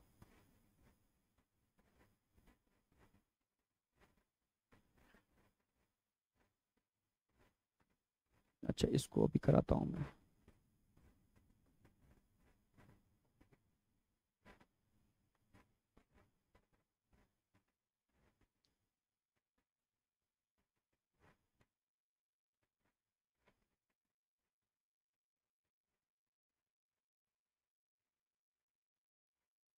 Source of energy during muscles contraction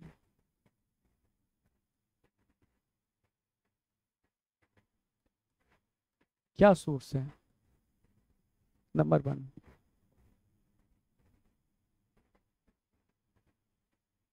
समझो मेरी बात। नंबर वन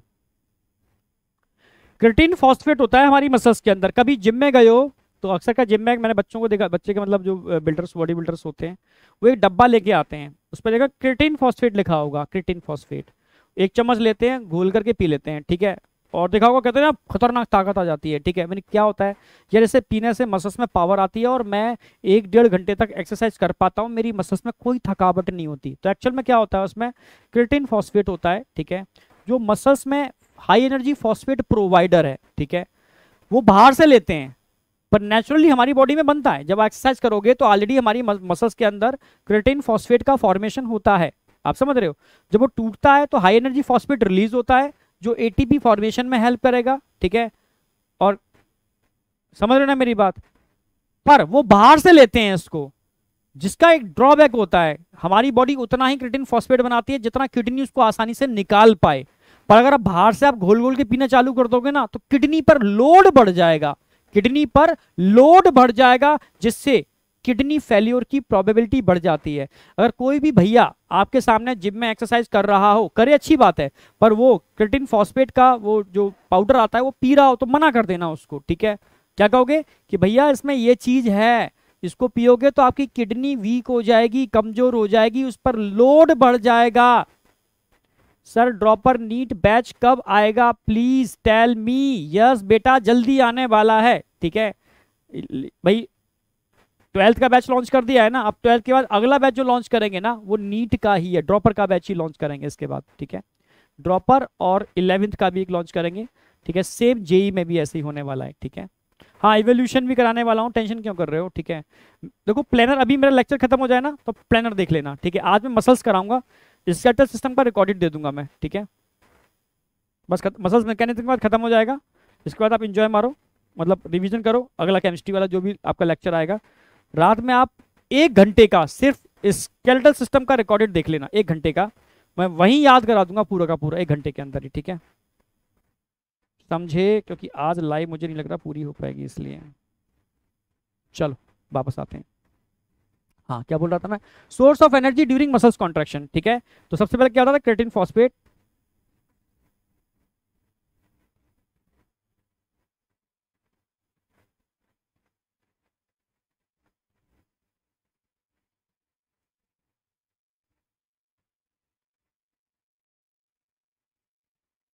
ये टूटेगा।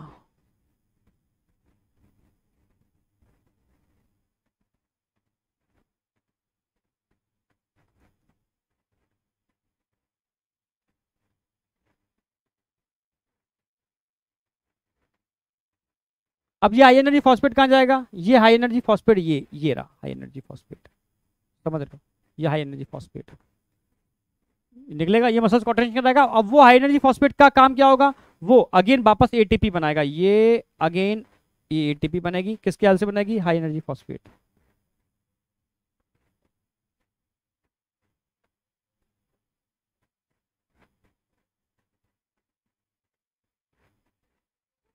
अब ये हाई एनर्जी फॉस्फेट कहाँ से आएगा? ये हाई ये समझो, ये हाई एनर्जी फॉस्फेट वापस एटीपी बनाएगा, टूटेगा तो निकलेगी।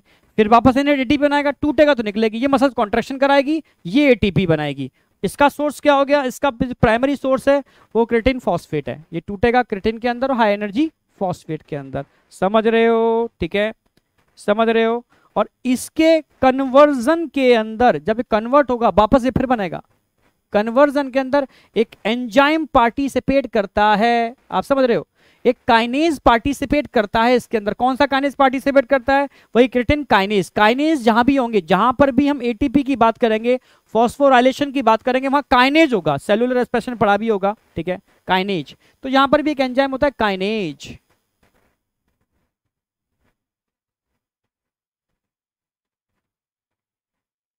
ये कंटिन्यू रिएक्शन को रिवर्स कराएगा वापस क्रिटिन फॉस्फेट का फॉर्मेशन कराएगा। आप समझ रहे हो? भाई, ये टूटेगा हाई एनर्जी फॉस्फेट समझ रहे हो? एटीपी बनाएगा कंटिन्यू ये एटीपी बनाने पार्टिसिपेट करेगा मसल्स कॉन्ट्रेक्शन के लिए।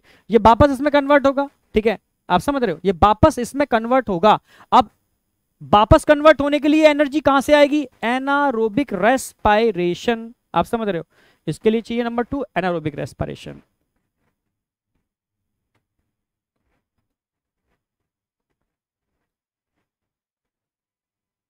हाँ जिन जो एथलीट्स होते हैं समझना मेरी बात? जो एथलीट्स होते हैं, उनके अंदर उनके अंदर इसका जो सोर्स होता है, क्योंकि उनके मसल्स के अंदर लैक्टिक एसिड का डिपोजिशन नहीं होता। उनके मसल्स के अंदर लैक्टिक एसिड का डिपोजिशन क्यों नहीं होता? क्योंकि उनके मसल्स में रेड मसल्स फाइबर होते हैं। हमारे मोस्टली मसल्स में रेड मसल्स फाइबर नहीं होते, ठीक है? उन एथलीट्स के मसल्स में रेड मसल्स फाइबर होते हैं। तो सेकंड सोर्स है एनर्जी का, ठीक है? एनारोबिक रेस्पिरेशन पर, इसमें क्या होता है? Formation of lactic acid formation of lactic acid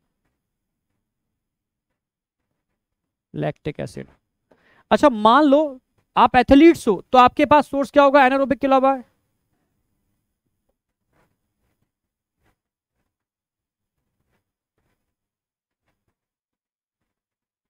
तो आपके पास एरोबिक रेस्पिरेशन होगा। एरोबिक रेस्पिरेशन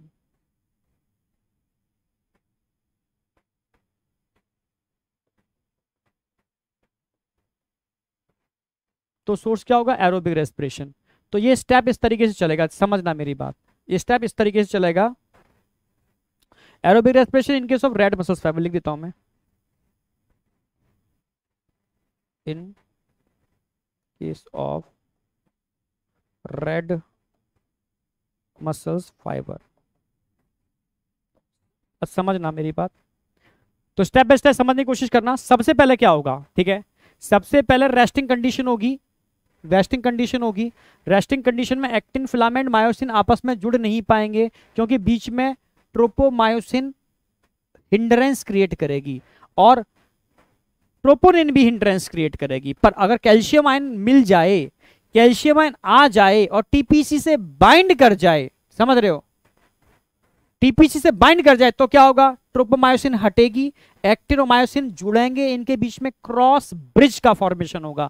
और जब क्रॉस ब्रिज बनता है तो उसके लिए एनर्जी चाहिए। एटीपी टूटती है एनर्जी वहाँ पर यूटिलाइज होगी, क्योंकि कॉन्ट्रेक्शन वहाँ से स्टार्ट हो जाएगा। एटीपी यूटिलाइज होगी कॉन्ट्रेक्शन वहाँ से स्टार्ट हो जाएगा तो अगेन एटीपी लोड भी तो करनी है। लोड करने के लिए ATPase ATPase enzyme high energy phosphate को यूज़ करके वापस एटीपी बनाएगा। पर हाई एनर्जी फॉस्फेट आएगा कहाँ से? ये high energy phosphate creatine phosphate की हेल्प से आएगा। ये मसल्स के अंदर हाई एनर्जी फॉस्फेट प्रोवाइडर है, जो टूटेगा हाई एनर्जी फॉस्फेट देगा, पर ये एक एंजाइम की प्रेजेंस में वापस इसको बनाएगा भी। कंटिन्यू टूटेगा, बनेगा। टूटेगा, बनेगा, ये मैकेनिज्म चलती रहती है। समझ रहे हो ना मेरी बात? पर अगर आप एक ही दिन में बहुत ज़्यादा एक्सरसाइज कर गए ठीक है, और आपकी मसल्स में लैक्टिक एसिड का डिपोजिशन हो रहा है तो समझ लेना कि मसल्स में एनारोबिक रेस्पिरेशन हो गया ठीक है? सेकंड स्टेप में क्या होगा? सेकंड सोर्स एनारोबिक रेस्पिरेशन है, पर इसके केस में क्या होता है? फॉर्मेशन ऑफ़ लैक्टिक एसिड ठीक है? हाँ अगर आप एथलीट्स हो तो आप 10 किलोमीटर लंबी रेस भी लगा सकते हो बिना थके बिना थके। सर एनिमल किंगडम पढ़ा दो। ऐसे तुम बच्चे हो, बच्चे तो हो मतलब समझदार बच्चे बनो। मैंने बोला ना प्लानर आपको अपलोड हो चुका होगा। ठीक है? लेक्चर खत्म हो जाए, उसका प्लानर देखना, उसमें हर चीज़ मेंशन है विद डेट इस डेट को ये चीज़ होगी, वो चलेगी, ठीक है? टेंशन क्यों कर रहे हो? बिल्कुल बिल्कुल उसके हिसाब से चलेगी। पूरा बायोटेक एनिमल तीन यूनिट को पहली प्रायोरिटी दी है मैंने बायोटेक्नोलॉजी एनिमल किंगडम और इवोल्यूशन ये तीन को मैंने पहली प्रायोरिटी दी है, आपके कमेंट देख कर की, ठीक है? मायोग्लोबिन यस मायोग्लोबिन एक ऐसी प्रोटीन होती है, जिसके पास ऑक्सीजन बाइंडिंग एफिनिटी हीमोग्लोबिन से भी ज़्यादा होती है। हीमोग्लोबिन से भी ज़्यादा होती है। इस प्रोटीन के बारे में हम बायोमोलिक्यूल में कराते हैं, ठीक है? ओके? समझे या नहीं समझे? माय डियर सर प्लीज़ जल्दी करवा दो, जल्दी करवा दो, जल्दी। जल्दी जल्दी जल्दी जल्दी ये काम सतानी का हो जाता है। मैं खुद करा ही रहा हूँ, ठीक है? मैं सोच के करा रहा हूँ कि, ठीक है एक एक चीज़ आपकी रिवाइज हो जाए, ठीक है? तो मैं बस कंप्लीट हो गया फिनिश है यहाँ तक, ठीक है? कुछ बचा नहीं आपका। ये कंप्लीट हो गया, ये कंप्लीट हो गया। अब इसके बाद मैं पूरा मैकेनिज्म भी बता देता हूँ मैं, तब मैं वो वाला मैकेनिज्म बाद में बताऊँगा। समझो। ये एनसीईआरटी का डायग्राम है, पहले ये समझ लो कि कैसे मैकेनिज्म हो रही है इसके अंदर, ठीक है? समझने की कोशिश करना, ये एक्टिन फिलामेंट है, ये मायोसिन का हेड है, ठीक है? अभी ये रिलैक्स कंडीशन है, ये एनसीईआरटी में डायग्राम दे रखा है ना कॉपीराइट से बचने के लिए ऐसा कर दिया है, जबकि ये डायग्राम ऐसा नहीं था, समझना। ये मैं बना देता हूँ, एक काम करता हूँ, थोड़ा सा मैं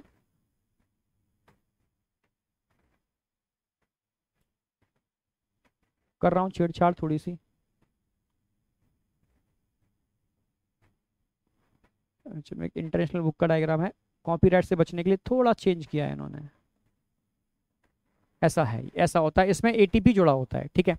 अब समझो जो मसल्स ये क्या है? ये तो आप जानते हो मायोसिन एक्टिन ठीक है? क्रॉस ब्रिज बना हुआ है। अब समझना, हम क्या करेंगे? इस क्रॉस ब्रिज को तोड़ेंगे। इस क्रॉस ब्रिज को तोड़ के पीछे लेके आएँगे इसको। अरे अरे भाई।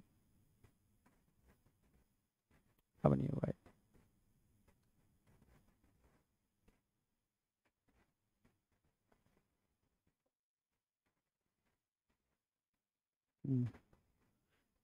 ठीक है?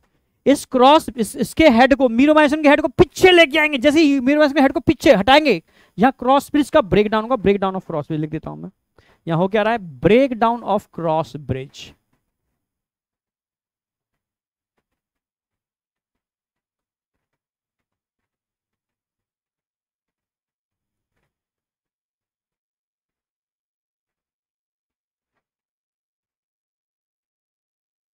breakdown of cross bridge यहाँ क्रॉस ब्रिज का ब्रेकडाउन हो रहा है। क्या हो रहा है?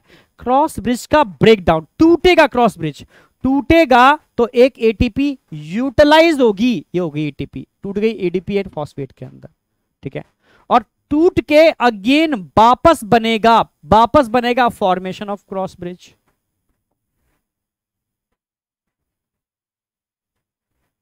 formation of cross bridge breakdown of cross bridge and formation of cross bridge.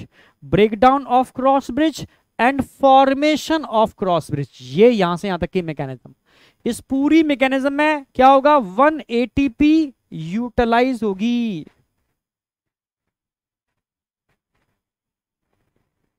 Utilisation of one ATP समझने की कोशिश करना। यहाँ पर 180 भी यूटिलाइज हो रही है, जैसे मानो, समझने की कोशिश करना कैमरे के सामने दिखा रहा हूँ।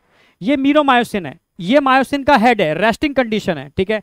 यहाँ से हेड हटाया, टूटा, पीछे खींचा, दम लगा के यहाँ लगा दिया, ठीक है?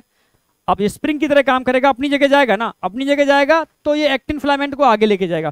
फिर पीछे टूटेगा, फिर पीछे जाएगा क्रॉस ब्रिज बनाएगा, फिर अपनी जगह जाएगा फिर पीछे टूटेगा, फिर पीछे जाएगा। ऐसे क्या होगा? धीरे धीरे एक्टिन फिलामेंट मायोसिन के ऊपर स्लाइड कर जाएगा। हर बार हर बार टूटेगा, जुड़ेगा वन एटीपी। फिर टूटेगा, जुड़ेगा वन एटीपी। टूटेगा, जुड़ेगा वन एटीपी। टूटेगा, जुड़ेगा वन एटीपी। समझ रहे ना मेरी बात? समझे, नहीं समझे? तो इस तरीके से एक्टिन फिलामेंट मायोसिन के ऊपर स्लाइड कर जाएगा। इसी को बोलते हैं स्लाइडिंग फिलामेंट थ्योरी, जिसमें मायोसिन स्लाइड नहीं करता। मायोसिन के ऊपर एक्टिन स्लाइड करता है। समझ रहे हो ना मेरी बात? तो ये एक स्टेप हुआ। अगले स्टेप में क्या होने वाला है? अगले स्टेप में क्या होने वाला है? यहाँ से यहाँ तक। अरे। यहाँ से यहाँ तक के स्टेप में क्या होने वाला है? यहाँ पर formation of one ATP formation of one ATP कैसे फॉर्मेशन होगा वन एटीपी का? समझो मेरी बात। जैसे ये जुड़ा तो ये अब तो यहाँ दोनों एक ही लेवल में है। समझने की कोशिश करना। ये अभी दोनों के दोनों एक ही लेवल में है। ये एक ही लेवल में है। पर अब जब स्लाइड करेगा ना, जब स्लाइड करेगा तो ये आगे बढ़ जाएगा। स्लाइडिंग फिलामेंट थ्योरी के हिसाब से एक्टिन फिलामेंट आगे आएगा। ये आ गया एक्टिन फिलामेंट आगे। समझ रहे हो? ये मूव करेगा पीछे। जब मूव करेगा ना तो यहाँ पर क्या होगा? यहाँ पर क्या होगा? एडनोसिन डाई फॉस्फेट में एक फॉस्फेट जुड़ेगा और बन जाएगा एडनोसिन ट्राईफॉस्फेट समझ रहे हो? तो ये जुड़ रहा है और कब कॉन्ट्रैक्शन के टाइम पर? और वापस बन गया एडनोसिन ट्राइफॉस्पेट ठीक है? यानी इस मैकेनिज्म में एक एटीपी का फॉर्मेशन हो रहा है, यहाँ ब्रेक डाउन हो रहा है। फॉर्मेशन हो रहा है ब्रेक डाउन हो रहा है। समझे नहीं समझे? सर फ़िज़िकल केमिस्ट्री क्लास कब से स्टार्ट होगी? होने वाली है। केमिस्ट्री का प्लानर मिल जाएगा आज शाम तक या कल हंड्रेड परसेंट और केमिस्ट्री पूरी एनसीईआरटी लाइन टू लाइन होगी with NCERT line to line question practice same जो आप रीलॉन्च कर रहे हैं ना, जो मैं जोलॉजी स्टार्ट कर रहा हूँ ना रिमेनिंग वाली, ठीक है? तो इसमें तो पूरा हम ले ही रहे हैं थ्योरी मैं तो सारी थ्योरी ले रहा हूँ, ठीक है? बट हम question practice NCERT line to line कराएँगे, अब जो ब्रह्मास्त्र लॉन्च कर रहे हैं, ठीक है? आप समझ रहे हो ना? उसके लिए एक टीम की ज़रूरत थी टीम हमने धीरे धीरे हाई करना स्टार्ट की है। जो कि बेहतरीन काम करेंगे हम लोग मिल करके ठीक है, पूरा भाई टीम वर्क ही होता है सारा का सारा। बस एक ही कसम खाइए कि बच्चों को बेस्ट कंटेंट देना है, ठीक है। मतलब पूरी मतलब बच्चा जब एग्ज़ाम हॉल में बैठे तो बिना कन्फ्यूज़न के मैक्सिमम एफर्ट लगा मतलब अच्छे अटैम्प्ट कर पाए, बिना निगेटिव मार्किंग के। तो वो तो आप फील करोगे चीज़ को। हाँ बेटा फ्री है फ्री है, अभी सब यूट्यूब पर तो फ्री तो होता है फिर यूट्यूब पर थोड़ा ज़्यादा लगते हैं किसी चीज़ के। ठीक है। समझ रहे हो? बस स्ट्रीमिंग कॉस्ट आती है। जब लाइव आप लेते हो किसी ऐप पर तो आपको स्ट्रीमिंग स्ट्रीमिंग समझते हो? कुछ चीज़ें होती है स्ट्रीमिंग की। मतलब एक एक एरिया वो तो आप जहाँ नेट पे भी सर्च करोगे, मिल जाती हैं, ठीक? उसकी कॉस्ट बहुत तगड़ी पड़ती है किसी चीज़ को लाइव कराने की, ठीक है? चलो, उसके लिए तो सपोर्ट है, हमने ऑलरेडी सपोर्ट ले रहे हैं लोगों से। करेंगे, बिल्कुल, बहुत बढ़िया करेंगे। काफ़ी लोग हेल्प करने को तैयार हैं इस समय, ठीक है? तो यहाँ समझ रहे हो ना utilisation of ATP formation of ATP utilisation and formation बस आपको तो सिर्फ़ पढ़ाई पे ध्यान देना है, आप मत डाइवर्ट हो। हम क्या कर रहे हैं, कैसे कर रहे हैं, कहाँ से हेल्प ले रहे हैं, क्या, कहाँ से ऐप बनवा रहे हैं, ठीक है? वो तो खैर वीडियो में बता ही दिया है। बस सब चीज़ें बस एक ही है, हमारा बस एक ही मोटिव है सबका। यार कैसे भी करके, समझ लो क्वालिटी पर काम करो और कॉस्ट को रिड्यूस करो, बस और कुछ भी नहीं है। अब आप उसको किस तरीके से समझते हो, मुझे नहीं पता, ठीक है? पर एक्चुअल में जेनुअन यही चीज़ है। क्वालिटी से कंप्रोमाइज़ नहीं होने देंगे किसी भी कीमत पर। इसमें अगर समझ में आ गया हो तो यार ये एक बार मुझे थोड़ा सा आग लगा के बता दो बस। ये समझ में आ गया नहीं, ये बहुत इंपॉर्टेंट है। एक क्वेश्चन आता है यहाँ से। यार आज नहीं कर पाऊँगा क्योंकि नेट वाले बैठे हैं। मैंने रिक्वेस्ट करके आया हूँ कुछ लाइन कट करनी है उन्हें लाइव नहीं हो पाएगा। लास्ट बचा हुआ है मैकेनिज्म ऑफ़ मसल्स कॉन्ट्रैक्शन मैं कोशिश करता हूँ, अभी मसल्स कॉन्ट्रेक्शन करा करके दो मिनट के लिए जाऊँगा, पूछूँगा। और हो गया, मुझे आधा घंटा दे दिया, पौना घंटा दे दिया तो मैं पूरा करा दूँगा अभी, ठीक है? आगे आ जाओ। मैकेनिज्म ऑफ़ मसल्स कॉन्ट्रेक्शन यहाँ पर फोकस करो सारे के सारे।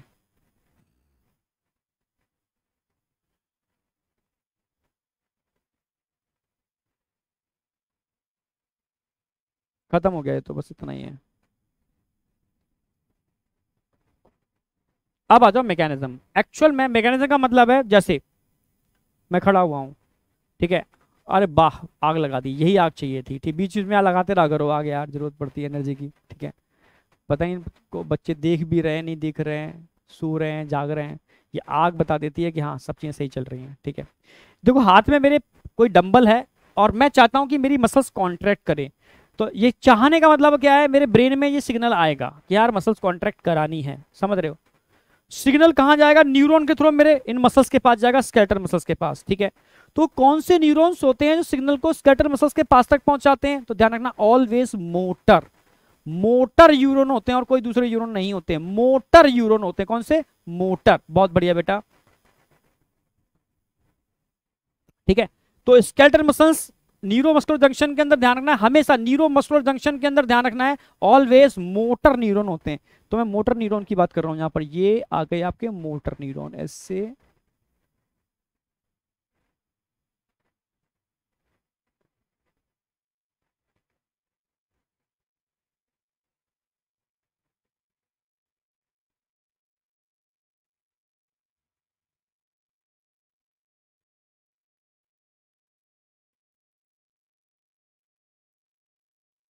ऐसे। ये आ गए मोटर न्यूरॉन ठीक है?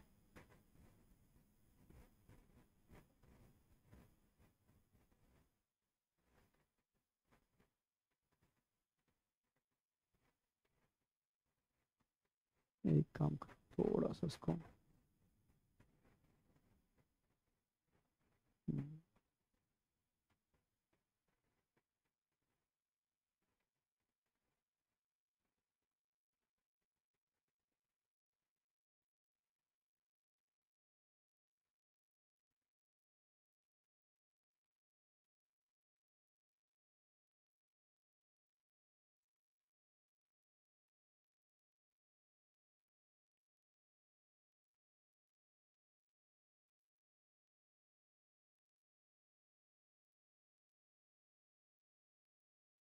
अब सही आ गया ठीक है।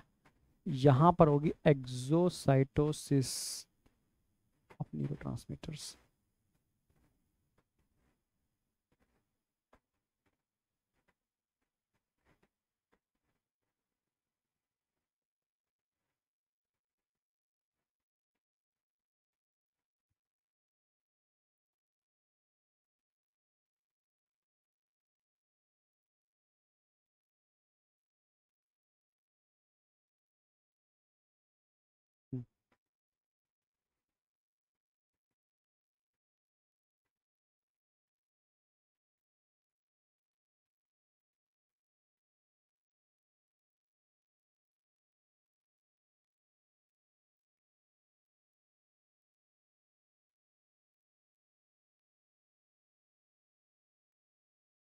मान लो एक स्केटर मसल्स है, एक सिंगल स्केटर मसल्स है। ठीक है? ये न्यूरोमस्कुलर जंक्शन है। ठीक है? ऑलवेज या कौन से न्यूरॉन होंगे? Motor neuron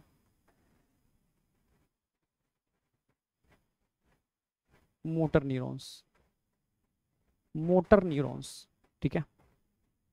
मोटर न्यूरॉन्स बाहर चार्ज कैसा होगा? पॉजिटिव अंदर कैसा होगा? नेगेटिव पर जब एक्शन पोटेंशियल जनरेट होगा, तब अंदर चार्ज कैसा होगा?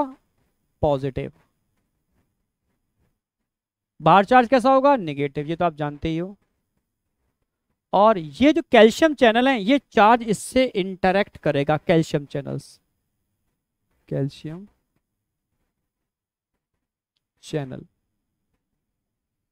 ठीक है, किस टाइप के कैल्शियम चैनल्स हैं? वोल्टेज गेटेड चैनल्स हैं। चैनल्स खुलेंगे कैल्शियम आयन की एंट्री होगी। कैल्शियम आयन की एंट्री होगी। जब कैल्शियम आयन एंटर करेंगे तो ये कैल्शियम आयन क्या काम करने वाले हैं? एक्सोसाइटोसिस ऑफ़ न्यूरोट्रांसमीटर्स ये न्यूरोट्रांसमीटर बाहर आने चालू हो जाएँगे। ये बाहर आ रहे हैं, ये बाहर आ रहे हैं। जब ये बाहर आएँगे तो क्या काम करेंगे? यहाँ लगे होते हैं कुछ रिसेप्टर्स ऐसे ऐसे ऐसे ऐसे। स्केलेटल मसल्स के ऊपर। रिसेप्टर्स ये। ये स्केलेटल मसल्स के ऊपर क्या लगे हुए हैं? रिसेप्टर्स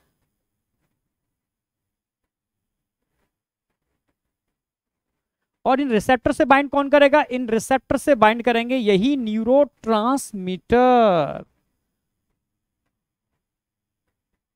क्या लिखता हूँ acetyl choline A C H से रिप्रेजेंट करते हैं एसिटाइल कोलिन को, ठीक है? और ये जो जंक्शन दिख रहा है ना, इसको क्या बोलते हैं? Neuromuscular junction neuro muscular junction या, इसको मोटर एंड प्लेट भी बोलते हैं, मोटर एंड प्लेट भी बोलते हैं। बायोटेक्नोलॉजी कौन पढ़ाएगा? मैं ही पढ़ाऊँगा बेटा बायोटेक्नोलॉजी ठीक है? पूरी जोलॉजी मैं ही कराऊँगा, ठीक है? ठीक है? न्यूरो मस्कुलर जंक्शन या मोटर एंड प्लेट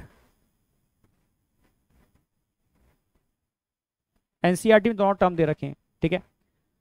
और कहाँ बाइंड कर रहे हैं? ये कौन है? ये है सोडियम चैनल्स ये कौन है? सोडियम चैनल कौन से सोडियम चैनल है? यह लिगेंट गेटेड चैनल ये तभी खुलते हैं जब कोई लिगेंट इनसे बाइंड करता है। तो बाइंडिंग हो रही है ना यहाँ पर न्यूरो ट्रांसमीटर एसिटाइल कोलिन की।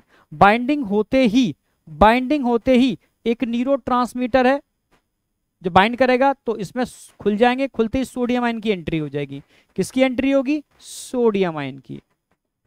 हो गई एंट्री रेस्टिंग कंडीशन पर अंदर चार्ज नेगेटिव था, बाहर चार्ज पॉजिटिव था, पर जैसे ही सोडियम आयन की एंट्री होगी, उल्टा हो जाएगा, अंदर चार्ज पॉजिटिव हो जाएगा और बाहर चार्ज नेगेटिव हो जाएगा। क्लियर है बिल्कुल?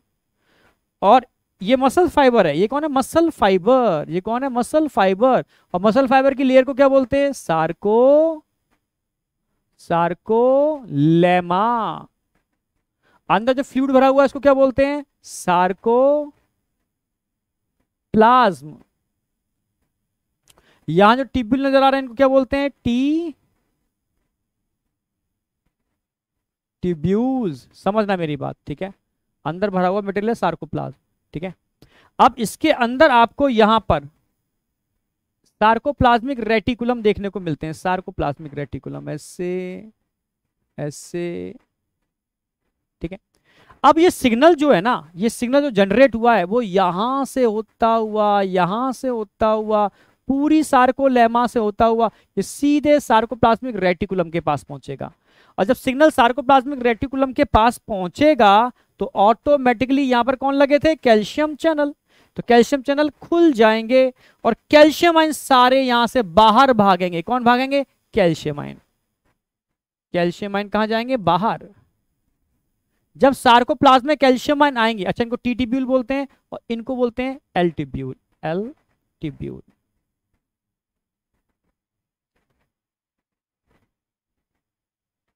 for storage of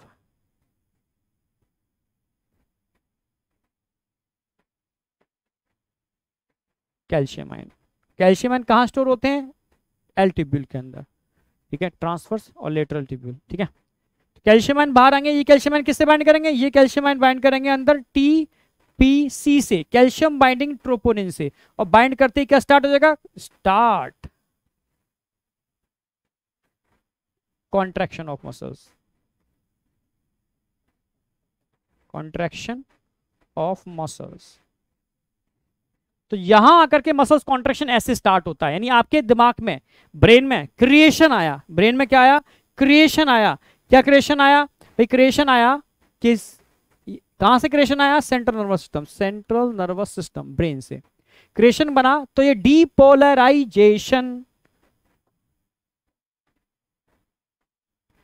ये डीपोलराइजेशन डी पोलराइजेशन ये डीपोलराइजेशन सिग्नल सीधा कैल्शियम चैनल से टकराएगा नंबर वन तो कैल्शियम चैनल क्या हो जाएँगे? ओपन कैल्शियम चैनल होने से नंबर टू क्या होगा? नंबर टू कैल्शियम एंटर करेगा। कैल्शियम एंटर करेगा तो क्या होगा? एक्सोसाइटोसिस। क्या होगा ये? Exocytosis of neurotransmitter. क्या हो रहा है यहाँ पर? एक्सोसाइटोसिस।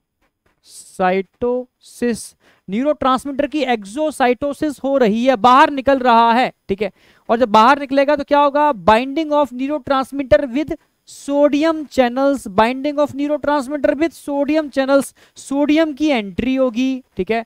तो नंबर तीन पे एक्सोसाइटोसिस नंबर फोर्थ पर आप बाइंडिंग बोल सकते हो नंबर फोर्थ पर बाइंडिंग बोल सकते हो नंबर फिफ्थ पर सोडियम चैनल्स को ओपन कर सकते हो। सोडियम चैनल्स ओपन करेंगे तो क्या होगा? सोडियम की एंट्री होगी। नंबर सिक्स पर सोडियम की एंट्री दिखा सकते हो। फिर नंबर सेवन पर डीपोलराइजेशन सीधा सार्कोप्लाज्मिक रेटिकुलम पर जाएगा एसआर। Sarcoplasmic reticulum, SR. और एसआर पर क्या लगे होते हैं? यहाँ लगे होते हैं कैल्शियम चैनल्स। क्या लगे होते हैं? Calcium channel. पर ये कैल्शियम चैनल कौन से होते हैं? ये कैल्शियम चैनल होते हैं वोल्टेज गेटेड चैनल। जब मेम्ब्रेन का पोटेंशियल वोल्टेज यहाँ से तो यहाँ टकराएगा तो ये ओपन कर जाएँगे, ठीक है? तो सेवन के बाद सीधा क्या होगा? एट एट नंबर पर क्या होगा? इसकी ओपनिंग इनके ओपन करते ही कैल्शियम बाहर निकलेगा टीपीसी से बाइंड कर जाएगा और मसल्स कॉन्ट्रैक्शन स्टार्ट समझ में आया नहीं आया? मसल्स कॉन्ट्रैक्शन स्टार्ट सर, एक बार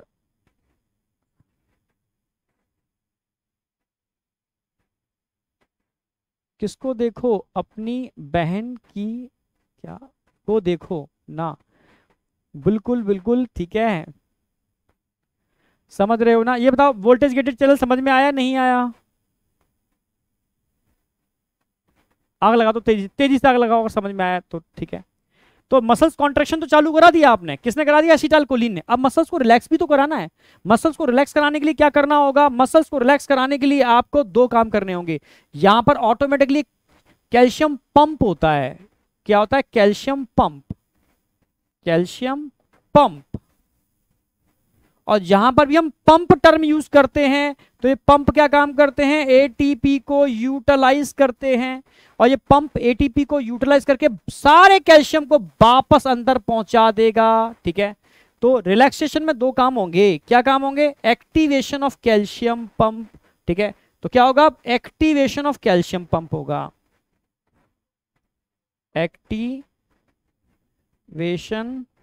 of calcium pump calcium क्या काम करेगा? सारे कैल्शियम को अंदर पहुंचाएगा और यहाँ से न्यूरो को भी तो हटाना है। तो क्या होगा? Break down of acetyl choline टूटेगा किसके अंदर? एसिटेट प्लस कोलिन के अंदर। कौन तोड़ेगा? Acetylcholinesterase A C H E एक एंजाइम है। क्या कराएगा? ब्रेक डाउन कराएगा। ब्रेक डाउन एसिटाइल कोलिन का ब्रेक डाउन होगा, यानी यहाँ से एसिटाइल कोलिन हट जाएगी, सारा कैल्शियम अंदर चला जाएगा मसल्स अगेन रिलैक्स कर जाएगी। तो दोनों मैकेनिज्म क्या करते हैं? Relaxation of muscles relaxation of muscles muscles के रिलैक्सेशन में इन दोनों का यूटिलाइजेशन परफेक्टली होता है। अब बताओ, यहाँ तक किसी को कोई डाउट मोटर न्यूरॉन सिग्नल यहाँ भेजेंगे कैल्शियम खुलेगा कैल्शियम निकले, अंदर आएगा एक्सोसाइटोसिस होगी, इनसे बाइंड करेगा डी डीप्लाजन सिग्नल यहाँ पर आएगा कैल्शियम बाहर निकलेगा टीपीजी से बाइंड करेगा कॉन्ट्रेक्शन स्टार्ट जो पूरी मैकेनिज्म बता चुका हूँ मैं। रिलैक्स कराना है कैल्शियम को अंदर करना पड़ेगा, यानी एक्टिवेशन ऑफ़ कैल्शियम पंप और break down of acetyl choline in acetate and choline के अंदर मसल्स अगेन रिलैक्स अब बताओ रिपीट कर दिया बेटा मैंने नंबर भी लिख दिए इन नंबर के बेस पर भी आप समझ सकते हो। यहाँ तक कोई भी डाउट शाउट है तो मुझे पूछो। कोई भी डाउट है।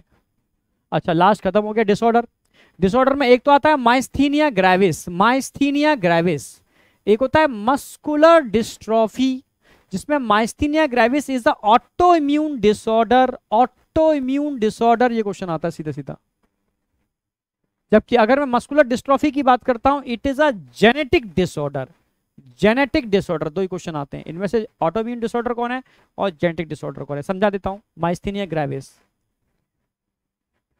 ये न्यूरोमस्कुलर जंक्शन है। न्यूरोमस्कुलर जंक्शन में आप जानते हो मसल्स में क्या लगे होते हैं? रिसेप्टर ठीक है एसिटाइल कोलिन के रिसेप्टर एसिटाइल कोलिन के रिसेप्टर्स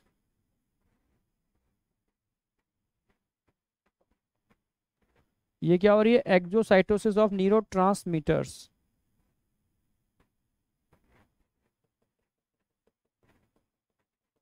ठीक है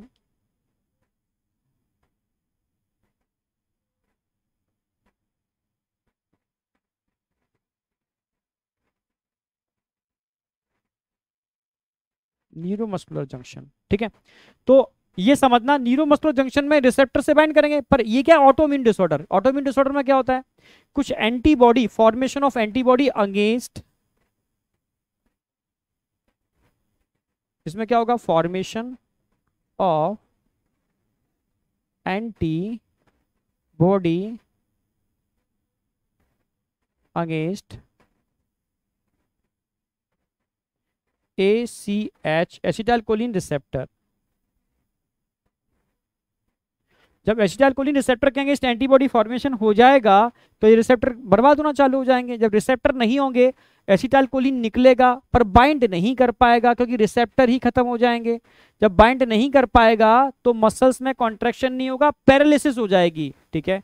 तो ध्यान रखना है myasthenia gravis is a autoimmune disorder यानी अपने हुए पराए, यानी अपने ही एंटीबॉडी अपने ही एंटीजन यानी एसिटाइल कोलिन के रिसेप्टर के अंगेंस्ट काम करते हैं डिस्ट्रॉय कर देते हैं उनको, जिस वजह से या इसकी बाइंडिंग नहीं हो पाती और मसल्स कॉन्ट्रैक्ट नहीं करती, इसी को बोलते हैं ऑटोम्यून डिसऑर्डर माइस्थीनिया ग्रेविस जबकि मस्कुलर डिस्ट्रॉफी की अगर मैं बात करूँ ना, ये तो माइस्थीनिया ग्रेविस हो गया।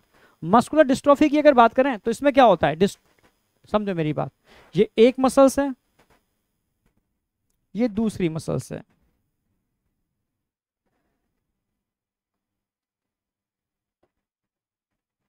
ये एक मसल्स है ये दूसरी मसल्स है और दोनों मसल्स को आपस में इंटरकनेक्ट करने के लिए बीच में कुछ प्रोटीन्स होते हैं dystrophin protein dystrophin protein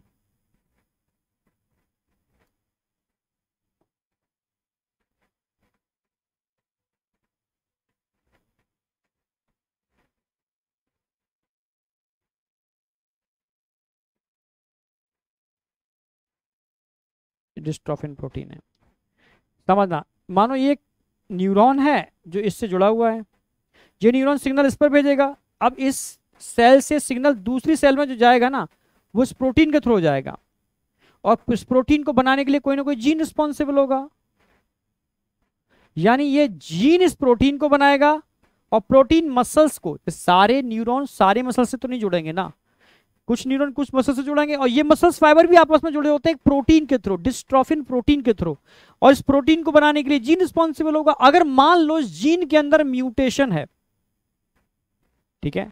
mutation है तो धीरे धीरे इन प्रोटीन का डीजेनरेशन चालू हो जाएगा या प्रोटीन का बनना नहीं होगा, जिससे मसल्स में सिग्नल नहीं जाएँगे, मसल्स कॉन्ट्रैक्ट नहीं कर पाएँगे और धीरे धीरे मसल्स का डीजनरेशन चालू हो जाएगा। समझ रहे हो? तो एक तरीके से ये भी मतलब समझ रहे हैं मेरी बात। सेम दोनों केस में एक के अंदर क्या हो रहा है? एक के अंदर रिसेप्टर डीजनरेट कर रहे हैं, एक के अंदर डिस्ट्रोफिन प्रोटीन नहीं बन रही due to mutation in gene ठीक है? डिस्ट्रोफिन की जीन के अंदर म्यूटेशन हो जाएगी तो ठीक है? तो muscular dystrophy progressive degeneration of skeletal muscles mostly due to genetic disorder और टीटैनी टीटैनी तो आप जानते हो ना? टीटैनी टिटनस की तरह होती है, पर टिटनस एक बैक्टीरिया के थ्रू होती है clostridium tetani tetany due to hyposecretion of due to hyposecretion of PTS parathormone अभी पढ़ाऊँगा हार्मोन के अंदर. पैराथॉर्मोन एक ऐसा हार्मोन होता है जो हमारी मसल्स के अंदर, समझो कैल्शियम ब्लड में कैल्शियम के लेवल को बढ़ाता है. अगर ब्लड में कैल्शियम का लेवल कम हो गया, अगर ब्लड में कैल्शियम का लेवल कम हो गया तो मसल्स कॉन्ट्रैक्ट की कॉन्ट्रैक्ट रह जाएगी। समझना? टिटैनी समझ रहे हो? तो टिटैनी क्या है? रैपिड स्पाजमिंग यानी वाइल्ड कॉन्ट्रैक्शन खतरनाक वाला। In muscles due to low calcium in body fluid तो बच्चों के दिमाग में आता सर बॉडी फ्लूड में कम कैल्शियम की वजह से ऐसा कैसा होगा? समझो मेरी बात। जैसे एक मसल्स है समझना, इस मसल्स के अंदर यहाँ सोडियम चैनल्स होते हैं, ये सोडियम चैनल्स, ये सोडियम चैनल्स। ठीक है? आप कहोगे, सर, ब्लड के कैल्शियम का क्या रोल है? जो ब्लड कैल्शियम होता है ना, वो इन सोडियम चैनल्स को क्लोज करके रखता है। ठीक है? यानी ये क्या करता है, blood calcium level maintain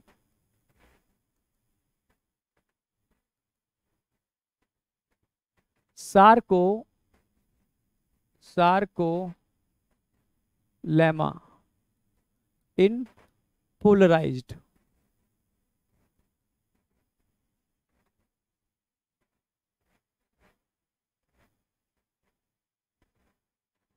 Polarise state. Polarise state में मेंटेन करके रखता है ये कैल्शियम आयन। अगर ये कैल्शियम कम हो गया ये कैल्शियम कम हो गया तो तुरंत सोडियम चैनल क्या हो जाएँगे? खुल जाएँगे, बिना सिग्नल के खुल जाएँगे। सोडियम आयन की एंट्री हो जाएगी, और ये सोडियम आयन क्या काम करेगा? मेम्ब्रेन बिकम डीपोलराइज और मेम्ब्रेन डीपोलराइज होगी तो सारा कैल्शियम बाहर आ जाएगा और टीपीसी से बाइंड करके मसल्स को कॉन्टेंट करा देगा।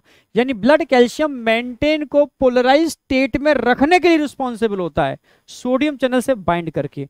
अगर ब्लड कैल्शियम कम हो गया तो सोडियम चैनल खुल जाएँगे बिना सिग्नल के। सिग्नल सीधा एसआर के पास जाएगा, सारा कैल्शियम बाहर टीपीजी से बाइंड कर जाएगा और वाइल्ड कॉन्ट्रैक्शन होगा लाइक टेटेनस इसी को टिटैनी बोलते हैं, ठीक है? वाइल्ड कॉन्ट्रैक्शन, खतरनाक वाला कॉन्ट्रैक्शन। समझे या नहीं समझे? अब बताओ, यहाँ तक किसी को कोई डाउट है इन डिसऑर्डर्स के अंदर? ये एक पार्ट हमारा फिनिश होता है, एकदम बढ़िया तरीके से। इसके बाद हम चालू करेंगे स्केलेटल सिस्टम मुझे पाँच मिनट का टाइम दो। छह बजे तक खत्म करा दूँगा इसको तो वैसे मैं। पूछ के आऊँ क्या है आज का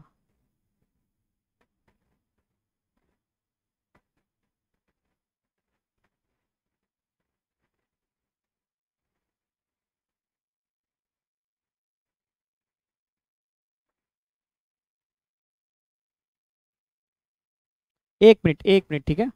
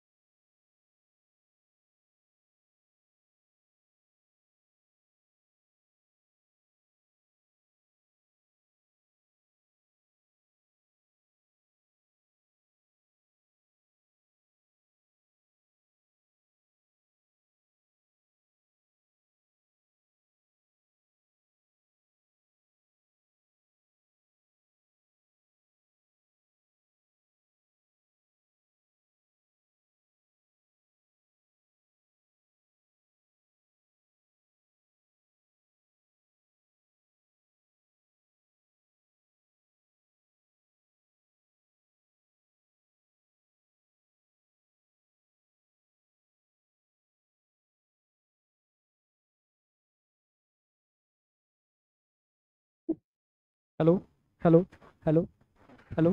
बेटा आवाज़ आ रही है क्या? Hello hello. आवाज़ आ रही है क्या?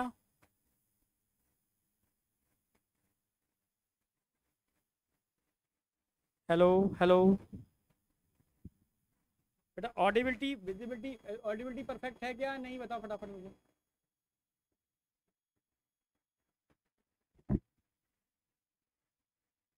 मैं रिकॉर्डेड दे रहा हूँ, इसलिए कह रहा हूँ मैं रिकॉर्डेड दे रहा हूँ बेटा, क्योंकि अभी लाइव थोड़ा चला जाएगा तो रिकॉर्डेड दे रहा हूँ मैं आपको, है ना? तो एक घंटे का रिकॉर्डेड आपको आज ही मिल जाएगा, आज ही, ठीक है? तो जब भी टाइम हो तो एक घंटे का आप रिकॉर्डेड ज़रूर देख लेना आज, ठीक है? तो आज इतना ही रखेंगे, एक घंटे का रिकॉर्डेड देंगे आपको स्केटर सिस्टम का पूरा। और क्वेश्चन भी उसमें आपको कराएँगे, ठीक है? क्वेश्चन भी उसी में करा देंगे। रिकॉर्डेड में ही क्वेश्चन करा देंगे तो मसल्स वाला पार्ट मैंने कंप्लीट करा दिया है। ठीक है? और प्लानर हम अपलोड कर दिए हैं अभी, और एक प्लानर और अपलोड करेंगे आज रात में, ठीक है? ब्रह्मास्त्र का, ठीक है? टोटली फोकस करना अपनी स्टडी पर। अगला लेक्चर स्टार्ट होने वाला है आपका, उस पर फोकस करोगे, ठीक है? थैंक यू बेटा ऑल द बेस्ट बाय बेटा बाय बाय बाय बाय